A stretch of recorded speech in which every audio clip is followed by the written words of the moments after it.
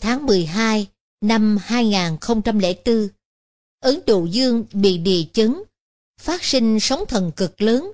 Tám quốc gia Đông Nam Á, số người bị nạn tử vong, mất tích, tính ra hai mươi mấy vạn, hơn ngàn vạn người không có nhà, tổn thất trầm trọng. Xem TV, thấy các thi thể nằm chất đống trên bãi biển, gia quyến bi thống tuyệt vọng. Một trường quốc phá gia phong khiến cho lòng người chua xót khôn cùng. Nhìn cảnh tượng này rồi, tôi không cầm được bi thống, liền phát nguyện tụng kinh kim cang, hồi hướng cho những người chết trong cơn sóng thần. Tôi nghiêm túc, tụng một bộ kinh kim cang. Lúc đọc đến hồi hướng, nguyện đem công đức tụng kinh kim cang đầy. Hồi hướng cho tất cả những người bị nạn trong cơn sóng thần tới Ấn Độ Dương.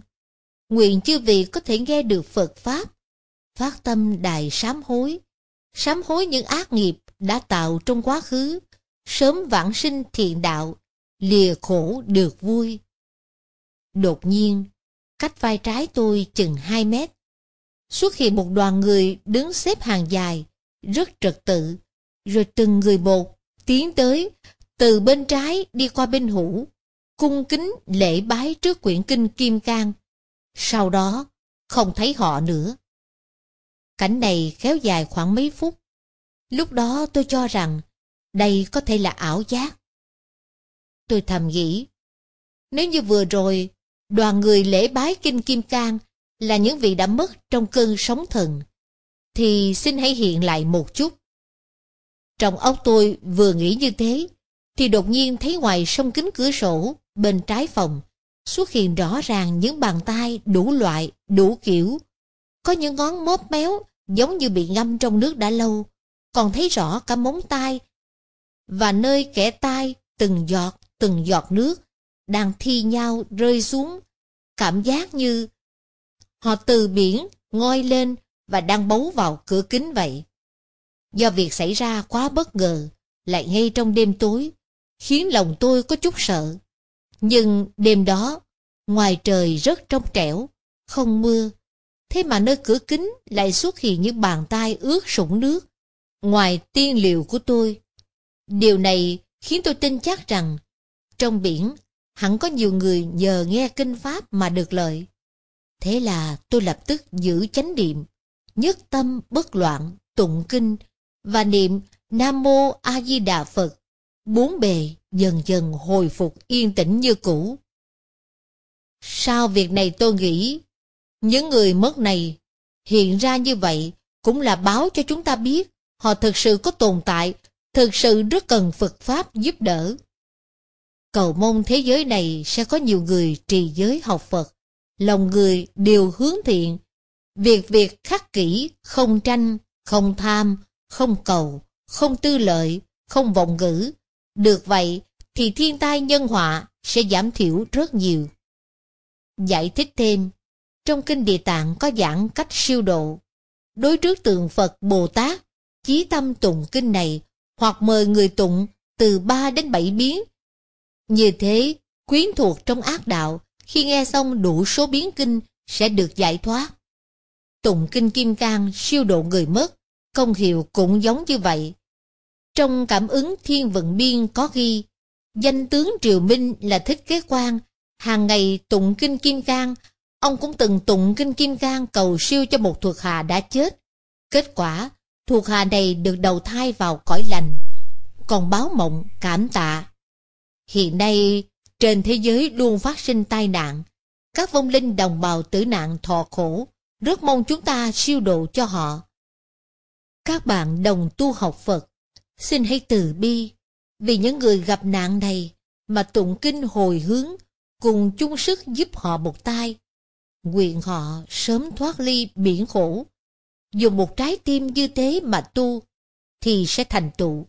Vì đó là nhân tâm, thiền tâm, Phật tâm vậy.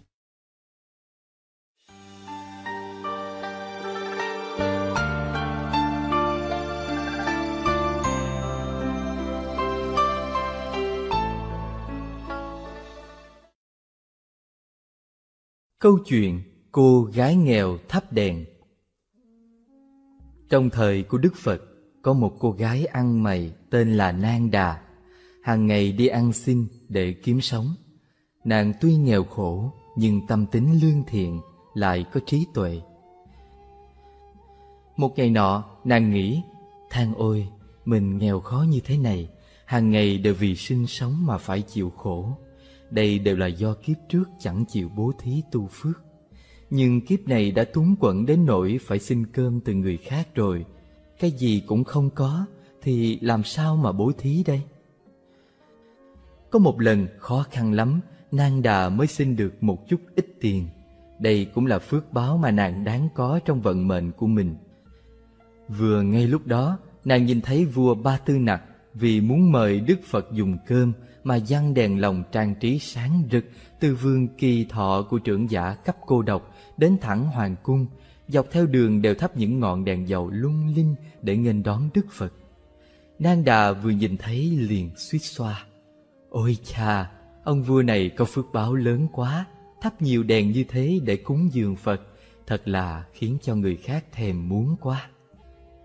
Nàng Nang Đà cũng muốn thắp đèn cúng Phật, nàng bèn lấy số tiền nhỏ ăn xin được đi mua dầu, nhưng số tiền quá ít ỏi, chẳng mua được bao nhiêu dầu. Ông chủ bán dầu hỏi nàng mua dầu để làm gì? Nang Đà đem hết tâm nguyện thắp đèn dầu cúng dường Đức Phật kể ra với ông ta. Ông chủ bán dầu chợt khởi lên lòng thương xót cô gái tội nghiệp nên rót thêm dầu cho nàng, khiến cho nàng có đủ dầu để thắp được một ngọn đèn. Cô gái nàng đà có được dầu rồi thì rất đổi vui mừng, liền đem ngay đến kỳ viên của ông cấp cô độc để cúng dường Đức Phật. Nàng đặt đèn dầu của mình chung với mọi người ở trước mặt Phật, đồng thời cầu nguyện rằng Bây giờ con đang nghèo túng, chỉ có một ngọn đèn nhỏ này dân cúng Đức Phật. Con nguyện đem công đức này hồi hướng, hy vọng cho kiếp sau của con có được đại trí tuệ, có thể diệt trừ được mọi nhơ uế của tất cả chúng sinh. Do những ngọn đèn kia của vua Ba Tư Nặc chỉ muốn thắp vừa đủ trong một đêm, do đó không hề bỏ thêm dầu vào, nên khi trời vừa sáng thì tắt hết. Nhưng ngọn đèn dầu nhỏ của cô gái nghèo khổ hoàn toàn không bị tắt, ngược lại còn sáng rực rỡ, đẹp cực kỳ. Sáng sớm hôm sau, có người đến dọn dẹp đèn thì lạ thay, chỉ có mỗi cây đèn dầu của Nang Đà là không cách nào dập tắt được. Ngay cả vị thần thông bậc nhất là tôn giả Mục Kiền Liên cũng chẳng thể dập tắt nổi. Kỳ lạ quá, sao cái đèn dầu này không thể dập tắt lửa được vậy? Hóa ra đó chính là ngọn đèn của cô gái ăn mày Nang Đà. Việc này rất hy hữu, kỳ lạ, có người liền báo với Đức Phật. Ngài nói với chúng đại đệ tử rằng Ngọn đèn dầu này không phải là lực của những vị thanh văn như Mục Liên có thể dập tắt được đâu. Cho dù là dùng nước của bốn biển lớn hay đến cả gió lốc mạnh dữ dội cũng không thể nào dập tắt được. Bởi vì đây là đèn của người phát tâm rộng lớn cúng dường đấy. Đèn dầu này là do cô gái Nang Đà phát tâm cúng dường vào tối hôm qua. Đã khiến cho ánh sáng đèn cúng Phật được bất diệt. Trong tương lai, Nang Đà sẽ được sinh vào thế giới quang minh, hào quang trên thân sáng rực rỡ không gì sánh được, được hưởng phước báo vô tận, vô lượng kiếp về sau, còn được thành Phật. Chuyện này nếu người bình thường nghe đến thì không cách nào tưởng tượng nổi, sao có thể chỉ dựa vào công đức của một chút ít tiền thắp đèn dầu cúng Phật mà được sanh về thế giới quang minh? Chẳng những trên thân có hào quang mà tương lai sẽ còn thành Phật đạo. Việc như thế bảo người ta làm sao mà tin nổi. Nhưng Đức Phật là đấng nói lời chân thật, lời không hư dối. Huống gì là khi Đức Phật thọ ký thì không chỉ là cho biết trước những việc có thật sẽ xảy ra, mà còn thọ ký cho người đó thành Phật trong tương lai. Về vấn đề Đức Phật thọ ký thành Phật, trong Kinh giáo có bàn rằng không phải là người bình thường làm công đức thì Phật liền thọ ký cho bạn thành Phật đâu, mà chắc chắn phải đến quả vị Bồ Tát không thối chuyển và khi đến một nhân duyên chín mùi nào đó thì mới được Phật thọ ký cho. Có người liền hỏi, thế thì cái cô gái ăn mày đáng thương kia có căn tánh của Bồ Tát không? Điều này thì phải nói đến nhân quả rồi. Những loại nhân quả thô sơ lúc thông thường thì ai mà chẳng biết. Như đói bụng rồi, ăn cơm thì sẽ no. Khát nước rồi, uống trà thì sẽ giải cơn khát. Uống trà là nhân, giải được cơn khát là quả. Đây chẳng phải cũng là nhân quả sao? Phải, nhưng là loại nhân quả nhỏ bé, chỉ có Phật với Phật mới có thể hiểu rõ một cách cứu cánh, triệt để mà thôi. Cô gái nghèo sở dĩ đã được Phật thọ ký cho thành Phật, thì cô ấy chắc chắn phải có cái nhân của Bồ Tát. Nhưng sao cô ấy vẫn phải chịu quả báo nghèo cùng chứ? Nhân quả trong Phật Pháp là nói nhân quả ba đời. Cô gái Nang Đà không rõ là trong một kiếp nào đấy đã gieo trồng cái nhân bần cùng nên bây giờ phải chịu quả báo. Nhưng căn tánh của cô ta đã thuộc hàng Bồ Tát không còn thối chuyển. Nếu không thì Đức Phật sẽ chẳng thọ ký cho cô đâu. Bạn xem, cái cô gái ăn mày này lại có căn tánh của Bồ Tát, cho nên khi chúng ta đối xử với người khác, cho dù là một người rất đổi bình thường, thấp kém, thì bạn cũng đừng bao giờ mà khinh thường họ. Bây giờ họ đang tội nghiệp thật đấy, nhưng có thể người đó có căn lành lớn, có phước đức lớn đấy. Chẳng qua là do nhân duyên chưa đến đó thôi. Giống như một cái cây thấp bé, tầm thường, hiện tại không có một chút dáng dấp nào, nhưng khi thời điểm đến, rồi thì nó tự nhiên sẽ trổ hoa mọc quả. Hoa nở, rồi thì sẽ có hương thơm. Quả của nó còn ngọt nữa cơ đấy. Thái tử Tất Đạt Đa dạo chơi ở bốn cửa thành. Đức Thế Tôn Thích Ca giáo chủ của cõi ta bà hiện nay của chúng ta là Thái tử con vua Tịnh Phạn ở Ấn Độ vào ba ngàn năm trước, tên gọi là Tất Đạt Đa. Đức Phật Giáng sinh tại Hoàng Cung. Thế thì Ngài làm sao phát tâm xuất gia được? Đương nhiên cũng có những nhân duyên từng lần từng bước một. Khi Thái tử Tất Đạt Đa mười mấy tuổi, Ngài cảm thấy Hoàng Cung tuy là tốt, nhưng nếu cứ ở trong Hoàng Cung thì không thể tránh khỏi việc cảm thấy quạnh hiu, vắng vẻ. Bèn muốn đi ra ngoài xem sao. Thế là Ngài đi dạo chơi ở bốn cửa thành. Lần đầu tiên, Thái tử đi ra thành phía đông, nhìn thấy một người già cả. Ông già này lưng còng, thân gù, kéo lê đôi chân đi từng bước từng bước vô cùng khó khăn. Tay còn cầm một cây gậy, cây gậy cũng rung rẩy theo.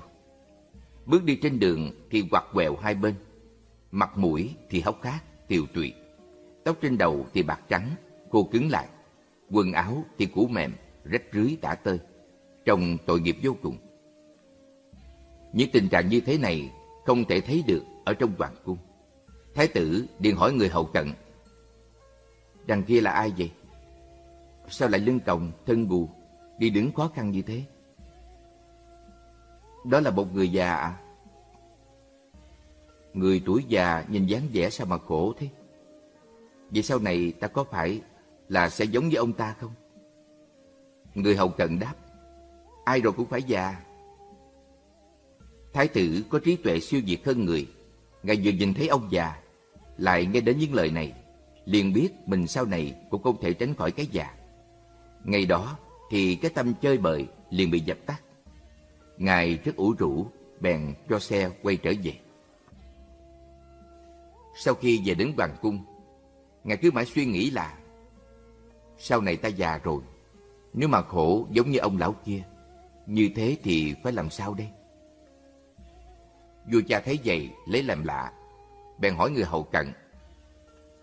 Thái tử lúc rời cung đi chơi thì còn vui vẻ lắm mà. Tại sao khi trở về thì cứ trong bộ dạng khổ sầu như thế? Các người có phải là đã cho thái tử nhìn thấy điều gì không tốt lành chăng? Bọn người hầu liền đem chuyện thái tử nhìn thấy ông già ở cửa phía đông ra, kể hết với vua Tịnh phạt. Vua mới dở lẽ. À, thì ra là như vậy. Thế thì lần sau đi ra ngoài, đừng cho thái tử nhìn thấy người già nữa. Đừng cho con trai ta thấy những gì không tốt nữa. Phải đem những chuyện tốt lành đến cho nó thấy. Cuộc sống trong hoàng cung, nếu sống lâu rồi thì sẽ cảm thấy có gì đó ngột ngạt. Thái tử nghĩ hay là là đi chơi đây đó. Lần này phải đến cửa phía nam. Đầu tiên vua Tịnh Phạn lệnh cho người sắp đặt xong mọi thứ ở cửa phía nam, treo đèn nhiều màu sắc trang trí, khiến cho nơi đó ngập tràn không khí vui tươi như lễ hội. Nhưng khi vừa đến cửa thành phía nam, khi đang đi vào chơi, thì Thế tử lại trông thấy một người bị bệnh. Người bệnh đó toàn thân đều là máu mũ, miệng mắt đều bị biến dạng hết. Tuy là một con người, nhưng bệnh nặng đến nỗi thành ra hình hài giống như một con quỷ. Ai nhìn cũng sợ hãi. Thái tử lại hỏi những người theo hầu, đây là ai vậy? Là một người bệnh. Vậy sau này ta cũng sẽ giống như ông ta không?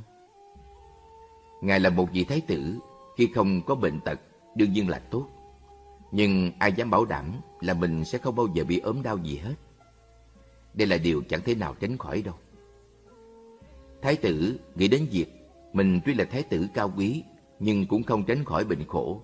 Vậy thì còn chơi bời làm cái gì nữa? Ngài bèn ra về.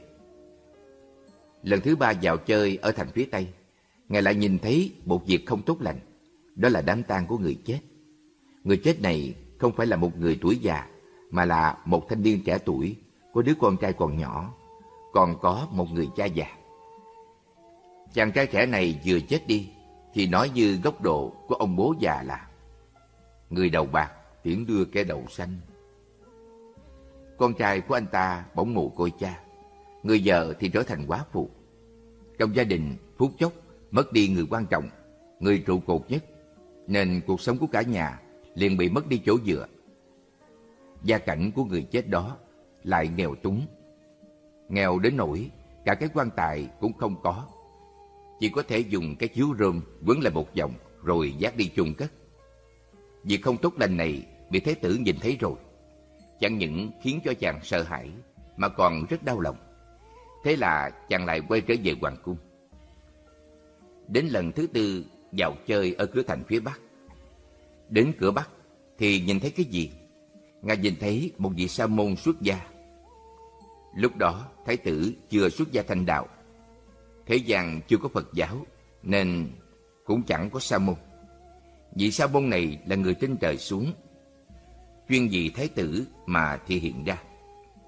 Vừa nhìn thấy vị sa môn xuất gia này dáng vẻ oai nghi, trang nghiêm, đoan chính, cử chỉ từ tốn, sự từ bi biểu lộ từ tướng mạo phi thường đó khiến cho trong lòng người ta tự nhiên phát khởi lên tâm cung kính, chí thành, liền muốn lễ lại. Vị sa môn này là người tốt đẹp nhất, cát tường nhất trong tất cả những người mà Thái tử đã gặp qua. Thế là Thái tử liền vui mừng hỏi vị sa môn. Ông là ai vậy? Tôi là sa môn xuất gia. Sa môn xuất gia là gì? Là người xuất gia cần cù tu giới định tuệ, diệt trừ tham sân si. Nếu có thể tu giới định tuệ thì tham sân si liền bị diệt trừ. Như vậy thì có thể thoát khỏi cái khổ của sanh, già, bệnh, chết. Lần này Thái tử trở về Hoàng Cung, trong lòng tràn đầy khoái lạc. Bởi vì Ngài đã nhìn thấy gì Sa Môn. Mà xuất gia làm Sa Môn thì có thể giải thoát khỏi cái khổ của sanh, già, bệnh, chết. Từ hôm ấy trở đi, Thái tử Tất Đạt Đa, tâm tâm niệm niệm, lúc nào cũng muốn xuất gia. Nhưng vua cha của Ngài có để yên cho Ngài xuất gia hay không? Sau này ngôi vua sẽ truyền cho con. Con còn phải trị nước an dân, sao có thể xuất gia được? Không được, ngàn vạn lần cũng không được. Trong lòng thái tử bắt đầu hoài nghi, cái gì là giàu, cái gì là sang. Tuy rằng cao sang đến như vua chúa, giàu có đến như bốn miệng, nhưng những thứ này đối với Ngài mà nói chẳng có chút hứng thú nào nữa. Bởi vì Ngài đã nhìn thấy cái khổ của già, bệnh, chết. Hoàn toàn không có chuyện cao sang mà không có khổ đâu nhé. Vẫn cứ phải già, phải bệnh, phải chết. Còn cái sự giàu có thì không vĩnh cửu được. Hôm nay là một đại gia giàu có.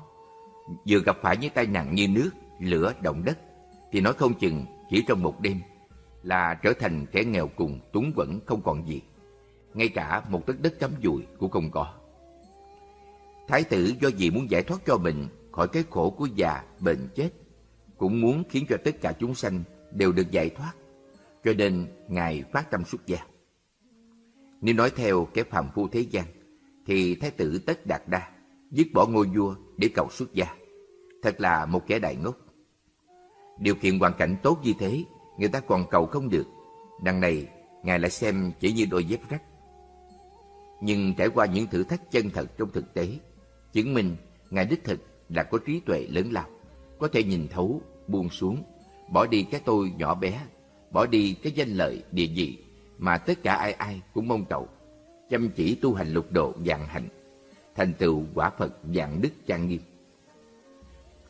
Sau đó, Ngài dùng Phật Pháp mà quá độ chúng sanh ra khỏi cái khổ của sáu đường luân hồi, chứng đắc được cái vui niết bàn cứu cánh.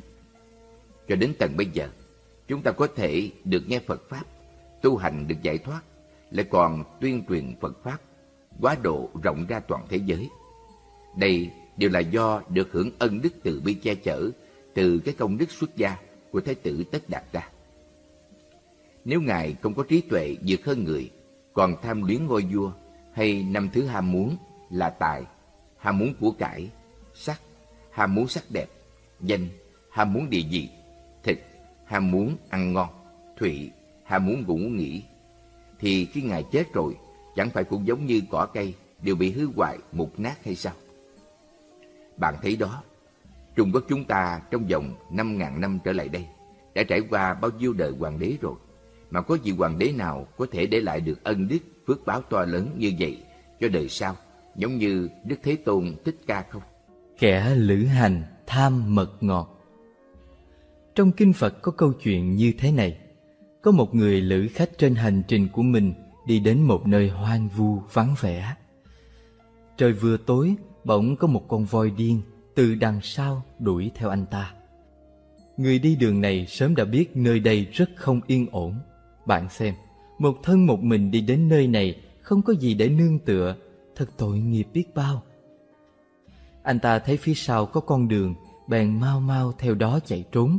Vừa chạy thì lao vào trong một cái giếng khô. Cái giếng khô đó vì không có nước, không có ai lấy nước ở đó nên mọc lên đầy cỏ, dây leo lấp kín luôn miệng giếng, chẳng nhìn thấy gì. Người đi đường chạy, chạy tiếp, cứ chạy nữa nên bị rơi vào trong cái giếng khô đó. Cái miệng giếng khô ấy có một số dây leo vắt vẻo lộn xộn. Anh ta bèn tiện tay đu bám vào những dây leo ở miệng giếng. Ở dưới đáy giếng có ba con rồng độc, bốn con rắn độc đang trợn trừng mắt nhìn anh ta. May mà tay anh ta nắm chắc dây leo nên chưa bị rơi xuống dưới. Một khi rơi xuống đó thì tiêu mạng chắc rồi. Chẳng những là rồng độc, rắn độc sẽ cắn anh ta, mà thậm chí chúng sẽ ăn thịt anh ta luôn. Anh chàng bị rơi vào trong cái giếng khô, tay vừa nắm chặt chùm dây leo, mắt thì còn phải xem chừng con voi điên coi nó có đuổi đến hay không.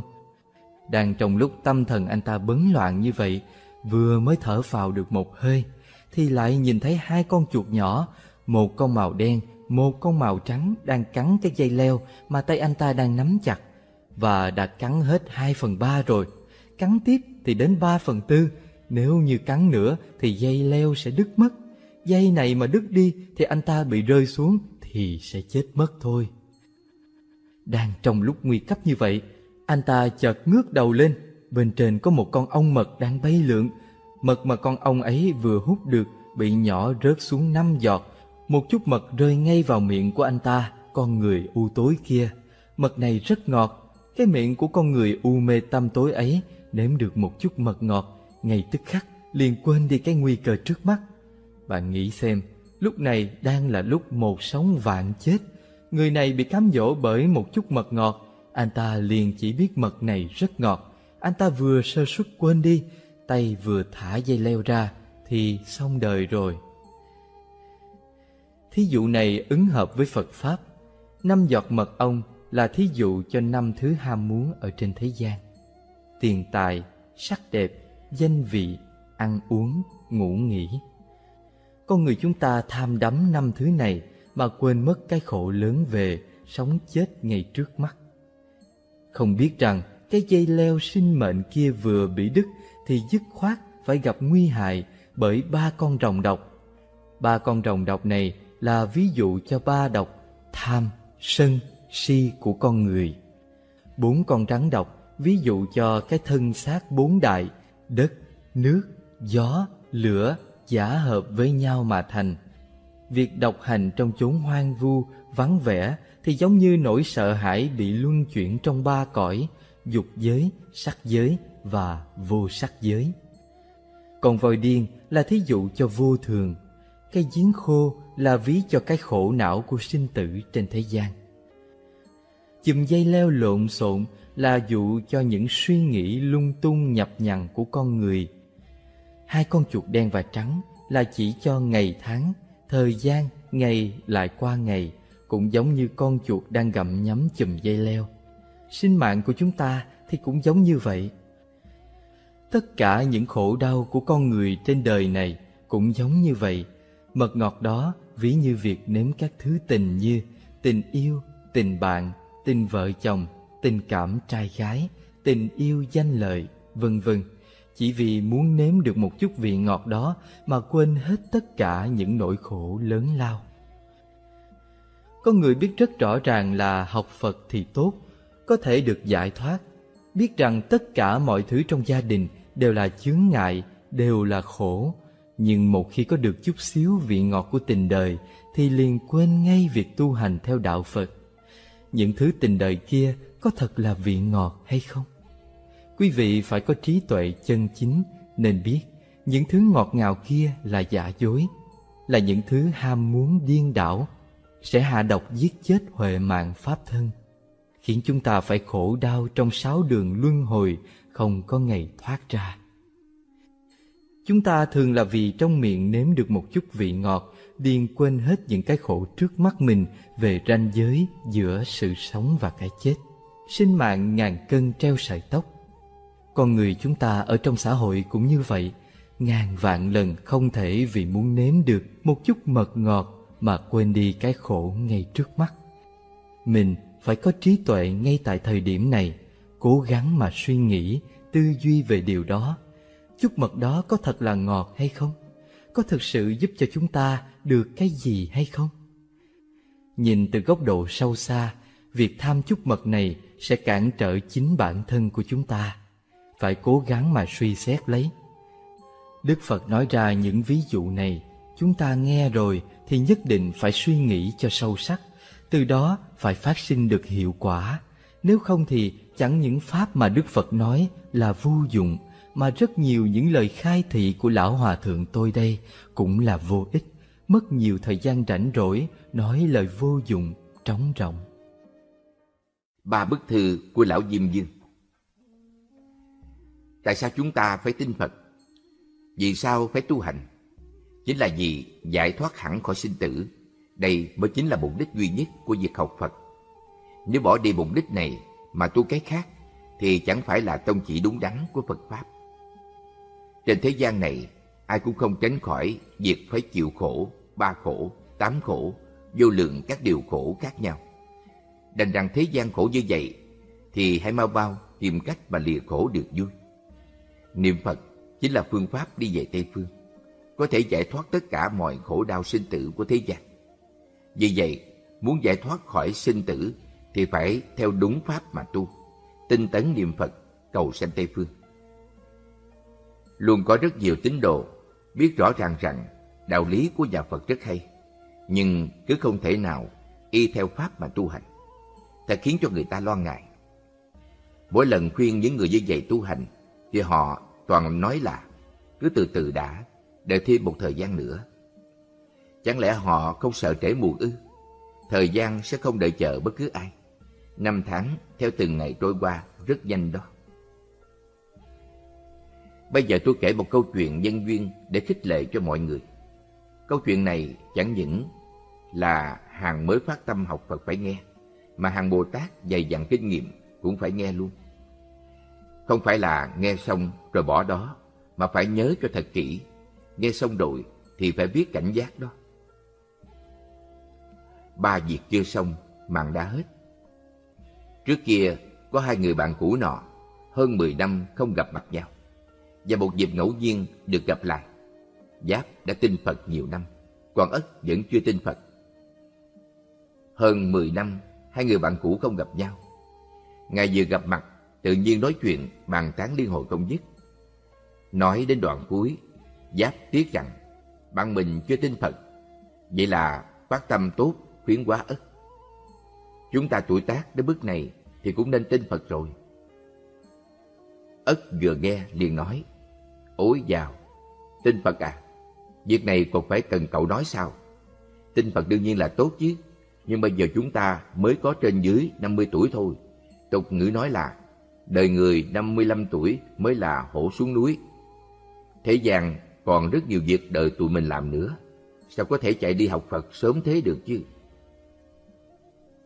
Giáp lại khuyên bạn rằng, bây giờ tụi mình già vậy mà tin Phật đã đã muộn rồi đó. Muốn đến già mới học Phật thì đây hoàn toàn là quan niệm sai lầm. Cậu là bạn tốt của tớ, tớ thấy Phật Pháp tốt nên mới khuyên cậu tin theo. Ất đáp, học Phật tốt thì tốt đó, nhưng đợi vài năm nữa tính sao nha. Tớ còn ba việc chưa làm nên tâm không yên đâu. Thứ nhất là cha mẹ của tớ đã qua đời, hai cốt vẫn còn chưa ngắm đất. Thứ hai, con trai chưa cưới vợ, con gái chưa gả chồng, còn chưa tìm được đối tượng tốt để thành hôn cho chúng nó, thì trách nhiệm của người làm cha mẹ vẫn chưa tròn. Thứ ba, gia tài vẫn chưa phân chia. E rằng sau khi tớ qua đời, thì con trai con gái vì tiền mà nổi lên tranh chấp. Vậy thì không được rồi. Để khi nào tớ giải quyết xong ba việc này, thì sẽ tự đến học Phật. Lúc đó mình bàn tiếp cũng không muộn. Giáp bèn nói, ba việc của cậu chưa xong, tớ cũng là cha mẹ chết rồi. Thi hài chưa ngắm đất, con trai con gái cũng còn chưa lập gia đình, tài sản cũng chưa phân chia, nhưng tớ vẫn cứ học Phật đó. Tại sao phải quyết định đợi ba việc đó làm xong thì mới học Phật chứ? Học Phật nên sớm mà. Nếu không đợi ba việc kia làm xong thì cậu phải đợi đến khi nào đây? Ất lại nói, học Phật giống như cậu thì không triệt để, không cùng tận. Nếu tớ mà học Phật thì nhất định phải sắp xếp tất cả mọi việc cho ổn thỏa trước. Đến lúc đó thì mới có thể chuyên tâm một lòng học Phật được, chẳng cần phải dướng mắt, lôi thôi cái gì cả. Ất rất cố chấp, lời hay không chịu nghe. Nói xong thì hai người chia tay, ai về nhà nấy. Nhưng chỉ vài hôm sau, thì người con trai của Ất khóc sướt mướt đến tìm bác Giáp để báo rằng cha của anh ta đã chết rồi. Lúc lâm chung còn dặn dò anh ta đến tìm bác để giúp đỡ an bài chuyện hậu sự. Giáp vì nghĩa không thể từ chối, bèn vội vã đi xử lý chuyện an táng ất. Vừa đến nhà bạn mình, nhìn thấy người bạn cũ nằm duỗi thẳng hai chân, mắt thì trợn trừng. Giáp cảm thấy vô cùng bị ai, mà nói ra bốn câu kệ. Bạn cũ của tôi tên An Ngưu, khuyên bà học Phật thì nói còn bận ba việc. Tội nghiệp cho bạn, ba việc chưa làm xong, thì lão Diêm Dương đã đến lấy mạng rồi. Diêm Dương đăng ký ba bức thư. Ất chết đi có ý không cam lòng, linh hồn đến âm tàu địa phủ cải lý với Diêm Dương. Ất trách móc. Diêm Dương à, sao ông vội vã kêu tôi đến đây thế? Tôi còn ba việc chưa làm xong nữa. Ông nên thông báo trước cho tôi mới phải. Tôi biết được, sẽ mau mau giải quyết xong việc rồi sẽ đến. Chẳng nói chẳng rằng bắt tôi đến đây, quá là vô lý đi. Diêm Dương nghe xong thì bảo với Ất. Người nói bậy à, sao lại chưa thông báo chứ? Ta sớm đã đích thân gửi cho người ba bức thư rồi. Ất trả treo. Ba bức thư nào? Sao tôi chẳng nhận được bức thư nào hết vậy? Diêm Dương đáp. Sằng bậy, ba bức thư đều là thư bảo đảm. Người đã nhận được từ lâu rồi. Ất thắc mắc. Vậy rốt cuộc là ba bức thư nào chứ? Đích xác là tôi chưa nhận được. Diêm Dương nói, Ngươi thật là quá ngu xuẩn, ngu xuẩn đến mức đáng thương. Để ta nói cho người biết nha. Vậy là Diêm Dương bèn kiên nhẫn hỏi ông ta, Răng giả của người làm từ lúc nào vậy? Ất trả lời, Răng của tôi khi 28 tuổi thì bị sâu rồi. Đau đến khi không còn cách nào khác, chịu không nổi nữa. Đến 40 tuổi, tôi chỉ còn cách lắp răng giả. Diêm Dương nói, đó chính là bức thư thứ nhất ta gửi cho người đó. Ất ngạc nhiên, đó chính là bức thư đầu tiên sao? Vậy còn bức thư thứ hai là cái gì nào? Diêm Dương hỏi lại. Khi nào thì ngươi đeo kính lão? Ất đáp. Năm 45 tuổi, tôi đọc báo không còn rõ chữ nữa nên bắt đầu đeo kính. Diêm Dương bảo, đó chính là bức thư thứ hai ta gửi cho người đó nghe. Ất hỏi tiếp, vậy còn bức thư thứ ba? Diêm Dương liền hỏi ông ta, trong ngươi kìa, tóc trên đầu đều bạc trắng rồi, năm nay bao nhiêu tuổi? Ất đáp, 52 tuổi rồi. Diêm Dương nói, đây chính là bức thư thứ ba ta gửi cho ngươi đó. Ba bức thư ngươi đều nhận được rồi. Bây giờ ngươi đã phục chưa? Ở đây không có tình người, chỉ xét nghiệp thiện ác của ngươi mà ban cho ngươi quả báo khổ hay vui mà thôi. Ất chẳng biết làm sao nữa, bèn nói. Tuy rằng ba việc của tôi chưa hoàn thành, Diêm Dương Ngài đã gửi cho tôi ba bức thư rồi. Cho không đến đây cũng không xong đâu. Đành phải nghe lệnh phán xử của Ngài Diêm Dương thôi. Hỡi ôi, tôi đã sai lầm quá lớn rồi. Không nên bỏ ngoài tai lời khuyên học Phật của người bạn cũ. Bây giờ thì đã quá muộn rồi. Hỏi tất cả quý vị đang ngồi ở đây, ất nhận được ba bức thư, còn quý vị thì nhận được mấy bức rồi.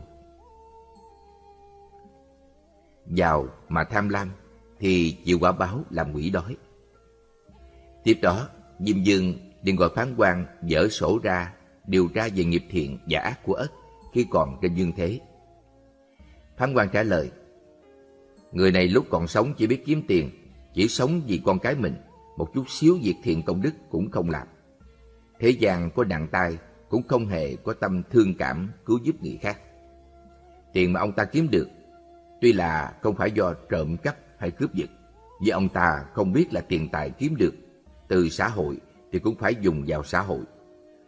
Khi có nhiều tiền rồi thì không thèm báo đáp đền ơn cho xã hội, ngược lại còn tham lam không bố thí, lẫn tránh đóng thuế, trốn thuế, ăn cắp thuế của quốc gia. Trên danh nghĩa thì giàu mà kỳ thực là một kẻ nô lệ chỉ biết giữ của. Diêm Dương vừa nghe xong thì cực kỳ tức giận, liền phán định. Cái hàng người tự tư tự lợi vì giàu và bất nhân này, hãy bao quản hắn ta vào cảnh quỷ đói. Trên đời này có rất nhiều kẻ nô lệ giữ tiền, giàu mà tham lam, không xả thí như vậy. Tương lai sẽ giống như ất, phải chịu quả báo là quỷ đói. Giàu sang làm thế nào mà có được? Là từ bố thí mà có. Đã đành là kiếp trước biết thực hành bố thí nên có được quả báo giàu sang ở kiếp này. Thì nên cố gắng vừa sung sướng hưởng thụ phước báo, đồng thời là tiếp tục bố thí một phần phước báo đó để cứu giúp người nghèo khổ. Sao lại trái ngược trở thành tham lam, khiến cho bị chiêu cảm quả báo làm quỷ đối ở kiếp sau vậy chứ? Bởi vì mỗi một kiếp đều có vô dạng nhân duyên khác nhau riêng. Chẳng hạn như kiếp trước là một người nghèo khó, gặp một thiện duyên nào đó, đã từng phát tâm chí thành đi theo người khác làm việc bố thí hoặc cúng dường tam bảo, kiếp này mới có được phước báo giàu sang. Nhưng rốt cuộc là vẫn chưa nghe được pháp xuất thế gian của Phật. Cũng không có đem công đức đó mà hồi hướng cho quả Phật Bồ Đề vô thường, cho nên vẫn còn ở trong pháp trời người, nên chỉ có được sự giàu sang ở thế gian mà thôi.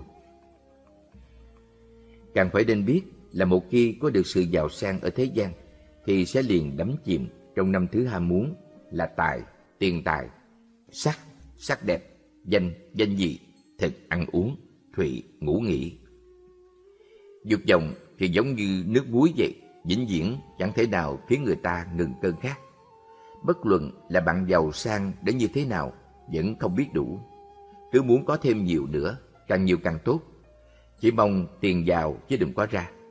Đến mức người ta bị mê muội mất rồi, sẽ trở nên kẻ tham lam keo kiệt, không xả thí. Tất cả tài vật vốn dĩ là của báo, có sự sống của chúng. Đến tay rồi thì cất giấu đi, làm cho chúng trở thành vật chết, chẳng thể lưu thông trên xã hội nữa. Do bởi sự tham lam của một người mà những kẻ khác cũng phải chịu khổ theo, cho nên mới chiêu cảm ác báo của loài quỷ đói này. Luật lệ của nhân quả là như thế. Người trẻ tuổi cũng nhận thư của Diêm Dương. Tiếp theo, Diêm Dương phán xử tội hồn của một anh thanh niên. Cậu trai trẻ này đang mừng thầm trong bụng, nghĩ Lúc nãy ông kia nhận được ba bức thư, còn mình thì chẳng nhận được bức nào. Diêm Dương đã gọi mình đến. Thế thì quá vô lý rồi. Mình phải hỏi Diêm La Dương cho rõ mới được. Người thanh niên lấy hết can đảm hỏi. Ngài Diêm La Dương à, lúc nãy Ngài phán xét người kia, ông ấy đã dừng được ba bức thư nên đáng chết. Nhưng răng của tôi còn tốt kia mà, mắt cũng chưa bị kèm nhèm, tóc trên đầu vẫn đen nhánh đó thôi. Tôi chẳng nhận được bức thư nào cả. Sao lại kêu tôi xuống đây chứ? Ngài thật là không dân từ, thật là không biết quý tiếc người trẻ tuổi rồi. Tôi phải phản đối. Diêm Dương nhìn anh chàng với con mắt khinh bỉ, đập bàn âm âm nói, đồ ngớ ngẩn, ta đã gửi cho ngươi ba bức thư từ lâu rồi, ngươi cũng nhận được rồi đó. Chàng trai không phục nói, tôi chưa nhận được mà. Diêm Dương bực bội quát, từ của ta phát cho mỗi người khác nhau, người tưởng là một ngàn lá thư đều giống y như nhau sao? Anh chàng lúc này chỉ dám hỏi lý nhí, là ba bức thư nào ạ? À? Diêm Dương hỏi lại, em gái nhà ngươi chết lúc nào? Thanh niên đáp, khi em gái tôi 5 tuổi, tôi được 10 tuổi. Lúc đó, nó mới có 5 tuổi đã chết rồi. Thật là tội nghiệp quá. Diêm Dương lại hỏi, em gái của người chết ra làm sao? Thanh niên đáp, do mắc bệnh đậu mùa. Bệnh đậu mùa quá thành mũ, làm do da thịt nó lở loét hết. Toàn thân nổi bụt đỏ. Bác sĩ giỏi cũng chữa không nổi. Lúc sắp chết còn quằn quại trên giường. Nó chết thật là thê thảm. Diêm Dương bảo, đó chính là bức thư thứ nhất ta gửi cho người. Bức thư thứ hai là khi ngươi học trung học, có một lần trường của ngươi tổ chức thi đấu bóng đá. Lúc tranh ngôi vô địch với trường khác, do vì hai đội ngang ngửa với nhau, không phân cao thấp được. Sau cùng thì trong trường có một học sinh giỏi, dùng hết sức lực mạnh mẽ nhất của hắn, một chân đá bóng vào lưới. Nhưng do dùng sức quá lớn nên chân bị trật khớp, cả người ngã ra phía sau mà bị dở đầu rồi chết ngay tại hiện trường. Tôi có nhớ không? Chàng thanh niên đáp một cách buồn bã. Người bạn học đó của tôi chết rất thảm thương. Các bạn đều khóc cho bạn ấy. Thầy cô cũng tiếc nuối vì bạn ấy là học sinh ưu tú của trường. Thầy cô nào cũng thích bạn ấy, bạn bè cũng rất kính trọng và yêu thương bạn ấy. Cha mẹ của bạn đó là đau lòng nhất, khóc đến nỗi chết đi sống lại. Cha mẹ luôn hy vọng được ở bên nuôi con cái, thậm chí đến sau khi chết. Bây giờ ngược lại, người đầu bạc phải chuyển kẻ đầu xanh. Thật là đáng buồn thay. Chàng ta lại hỏi, Vậy bức thư thứ ba là cái gì chứ? Diêm Dương đáp, Anh họ của người chết như thế nào? Chàng thanh niên bỗng sợ hãi đáp, Thang ôi, anh họ của tôi chết thật là quá thảm luôn. Hai năm trước, khi tôi 18 tuổi, thì anh họ kết hôn. Ngay trong đêm tân hôn, lúc đồng phòng qua chúc, họ hàng, người thân bạn bè đều đến chúc mừng. Đừng lúc mọi người đang chơi quẳng tù tì khi uống rượu rất náo nhiệt vui vẻ như vậy. Bỗng nhiên anh của tôi bị xoắn ruột, tức là đau ruột thừa cấp. Chết luôn. Áo cưới đỏ của chị dâu họ mặc vào chưa kịp ấm thân thì đã phải cởi ra để mặc áo tang cho chồng rồi. Chị ấy gào khóc quằn quại. Hỏi ơi Bình ơi, chẳng phải mình nói với em là sẽ cùng em sống đến bạc đầu răng long sao? Tại sao bây giờ lại bỏ em giữa đường mà đi như vậy chứ? Chị càng khóc càng nói càng đau đớn. Nếu sớm biết như thế này thì ngay từ đầu em không chịu cho mình cầu hôn đâu. Cảnh tượng đó khiến cho ai cũng đều đau lòng, thật là bi thảm. Diêm Dương nói, đây chính là bức thư thứ ba ta gửi cho người đó. Chàng trai nghe Diêm Dương nói xong, biết mình cũng đã nhận được ba bức thư, thì không còn lời nào để nói nữa. Nói đến đây xin hỏi, các vị đều đã nhận được ba bức thư rồi hay chưa? E rằng không phải chỉ là ba bức thôi đâu nhé. Câu phu niệm Phật cuối vị có thể chống lại được Diêm La Dương chăng?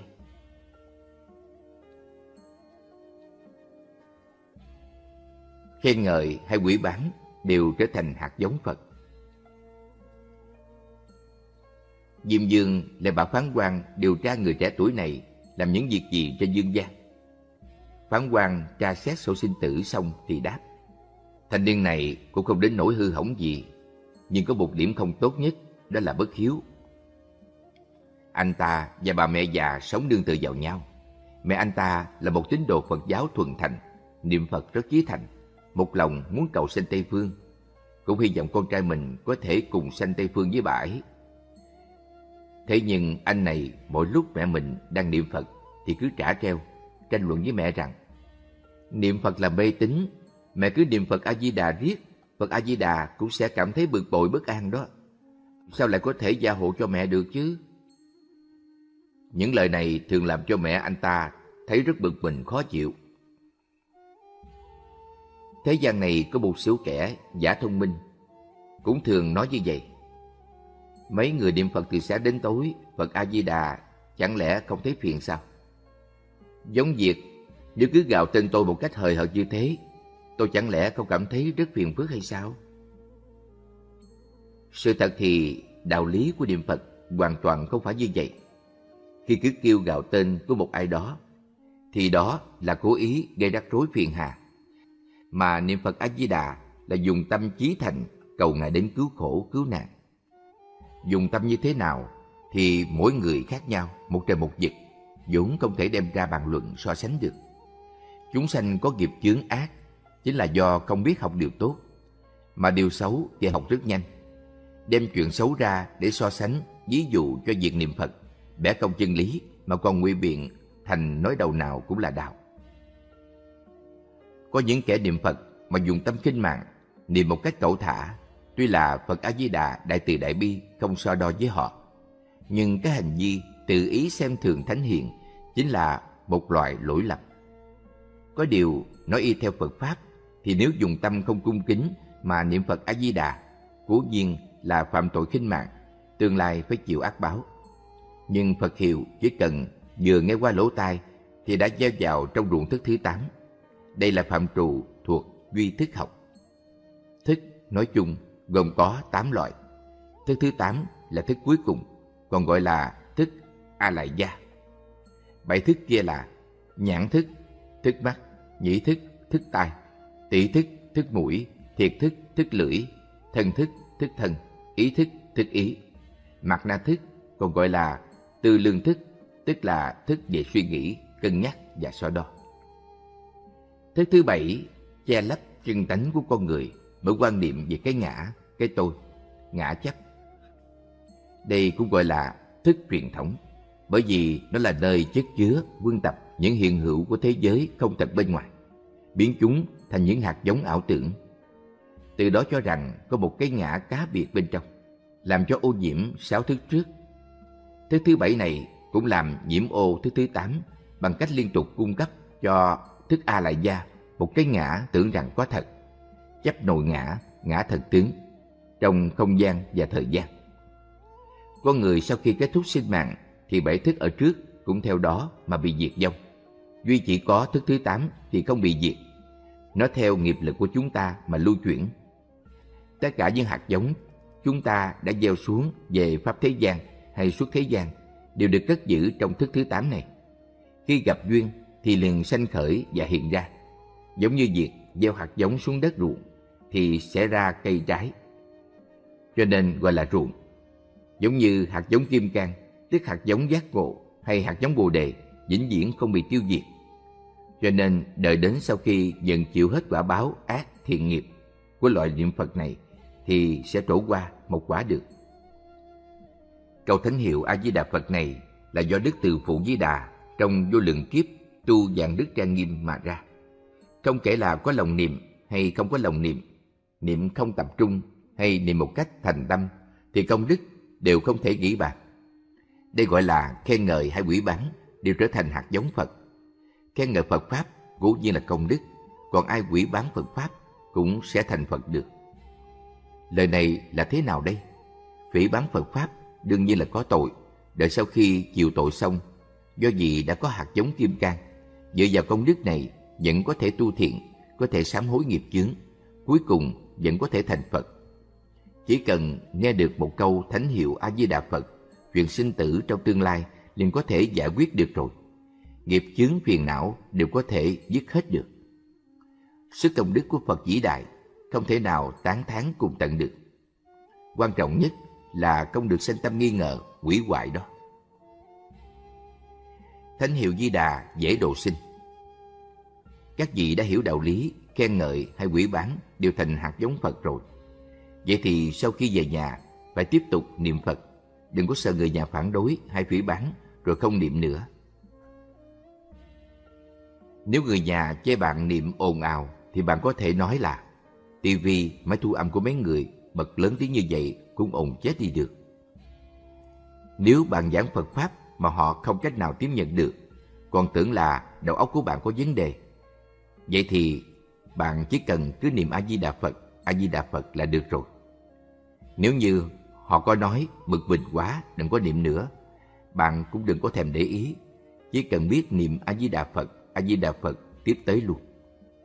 Kẻ chướng ngại người niệm Phật chúng ta thì chính là kẻ thù của chúng ta.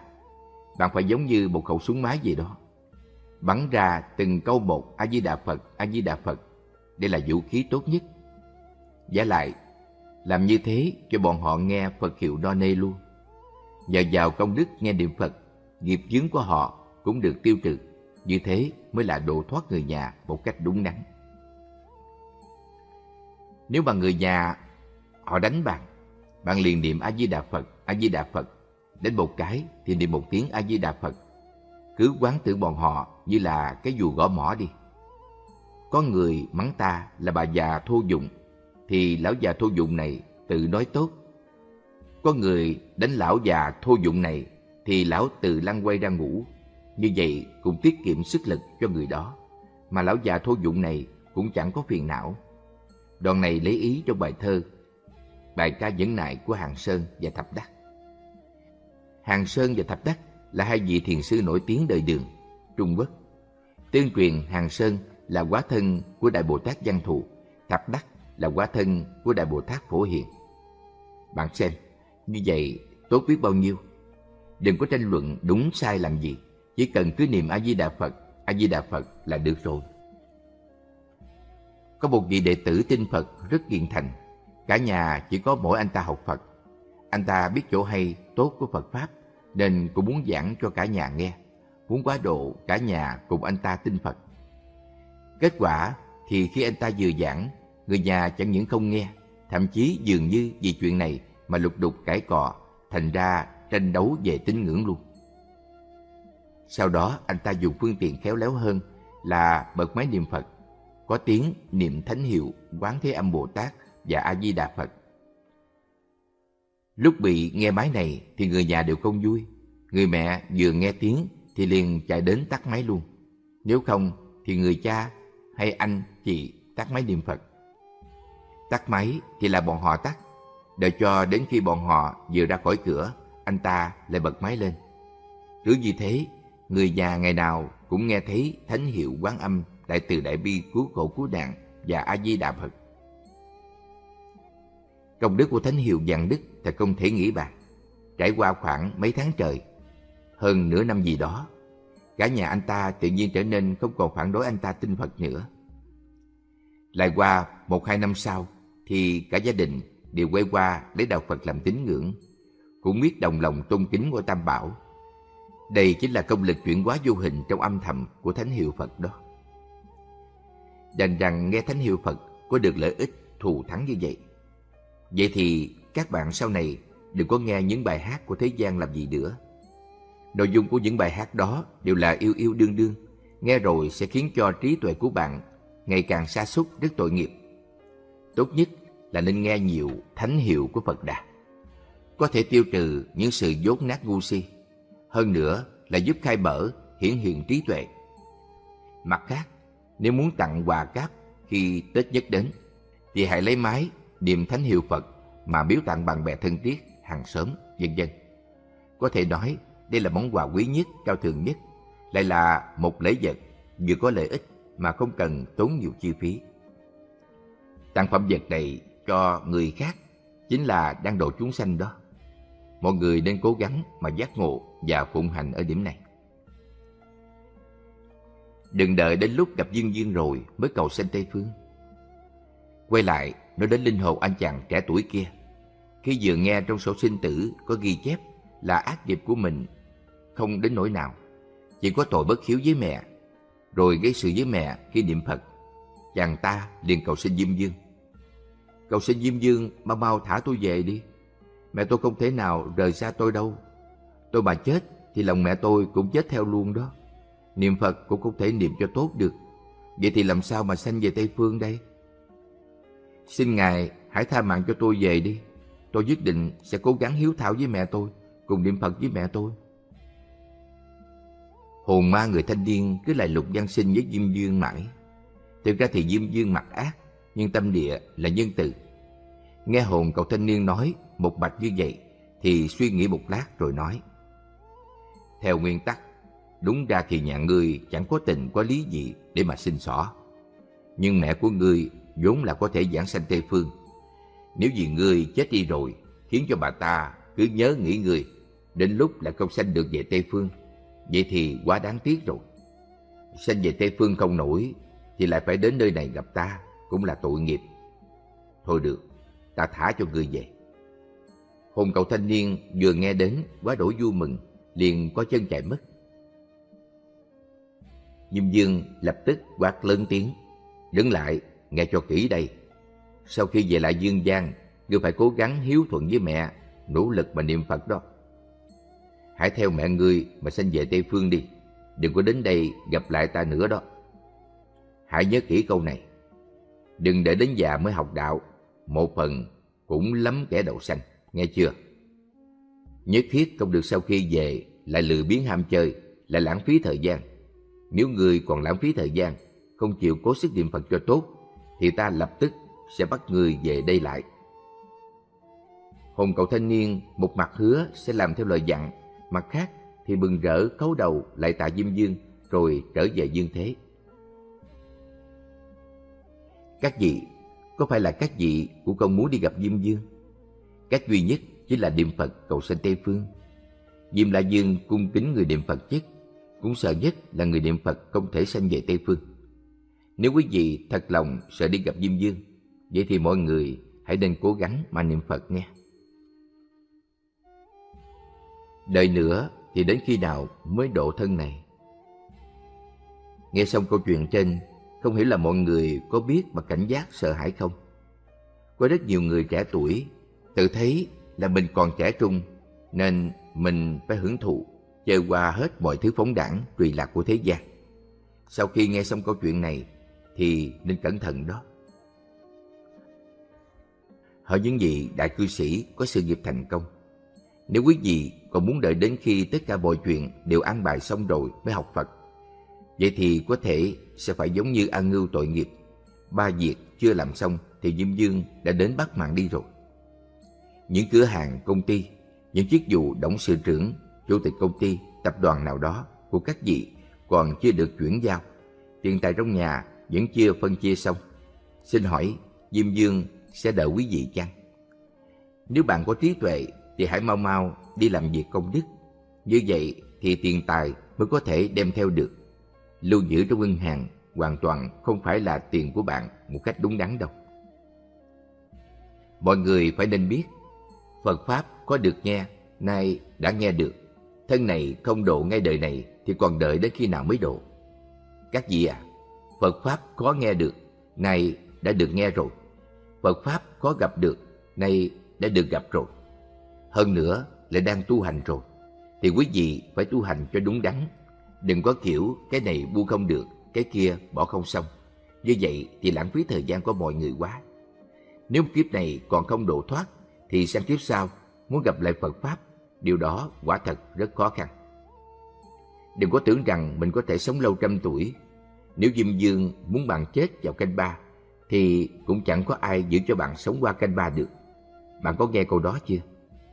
Cho nên nếu muốn học Phật, muốn xuất gia, vừa nghĩ đến thì phải làm ngay tức khắc, đừng có đợi đến khi mọi việc đều sắp xếp xong. Cho mọi chuyện đều như ý rồi mới đi làm.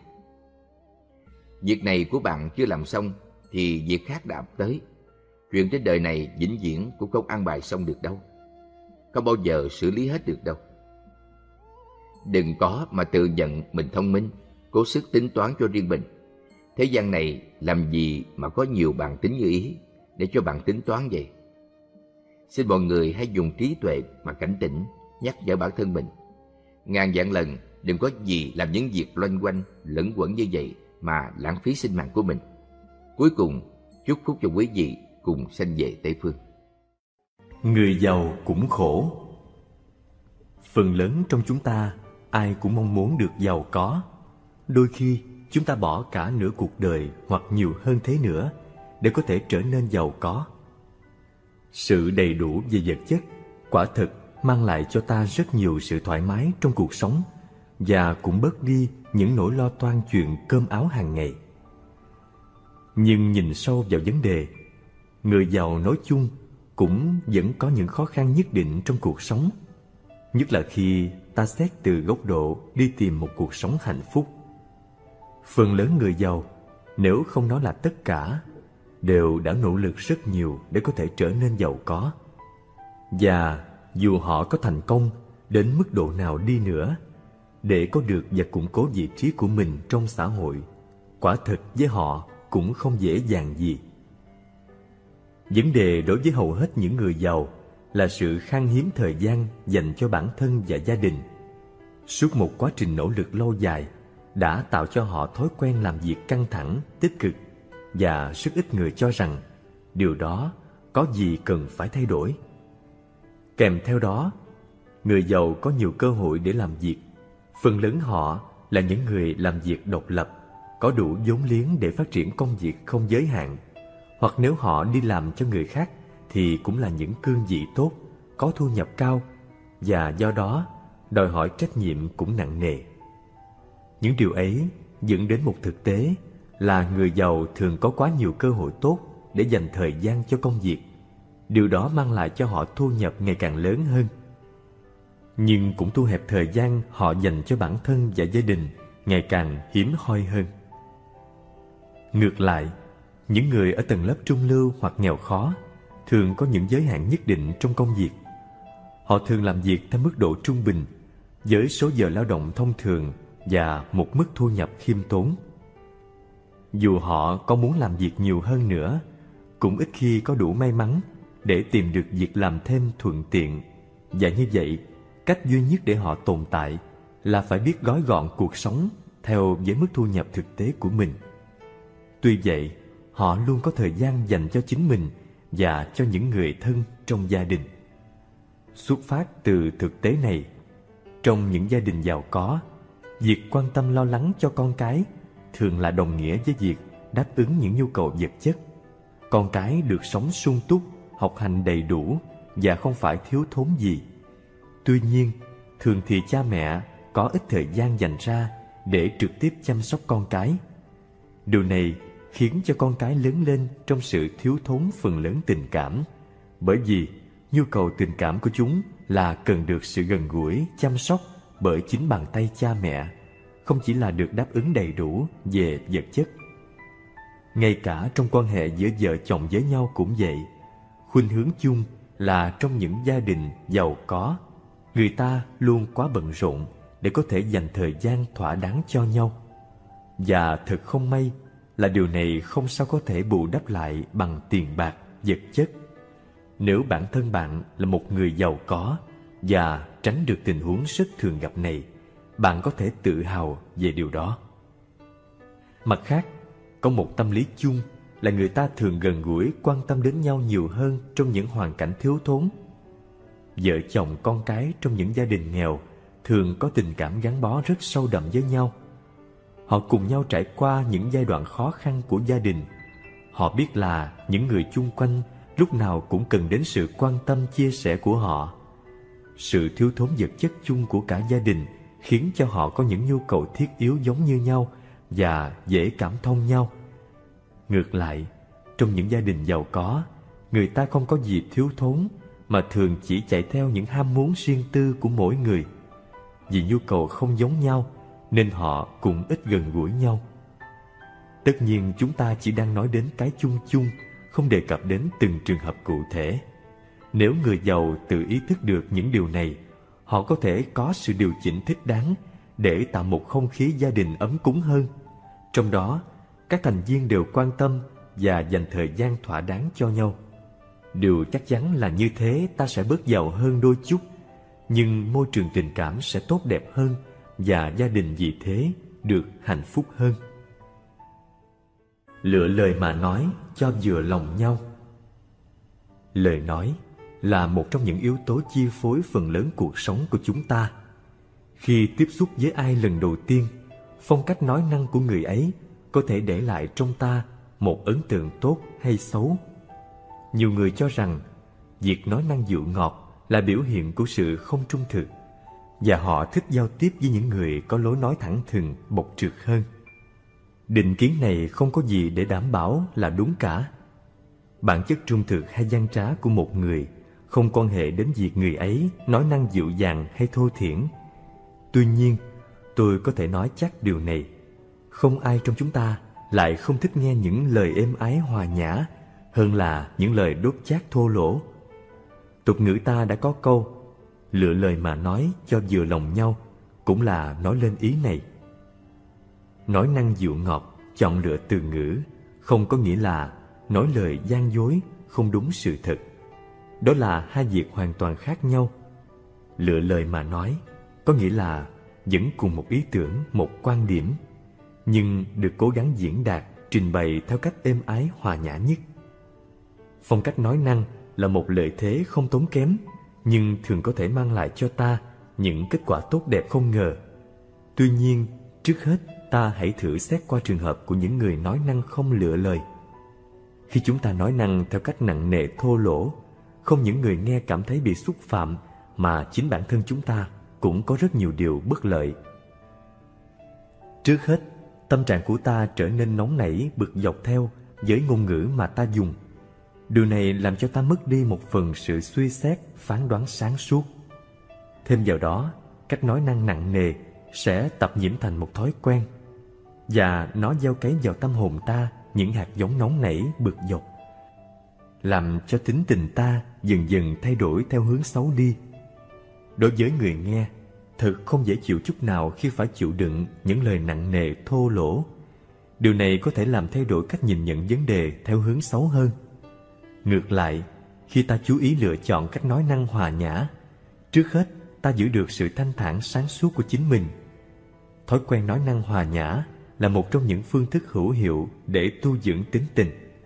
Như vậy chúng ta vừa tránh làm thương tổn người khác, mà đồng thời cũng có lợi cho chính bản thân mình. Khi vấn đề được trình bày theo cách ôn hòa, người nghe sẽ dễ chấp nhận hơn, vì điều đó tỏ ra là họ đang được tôn trọng.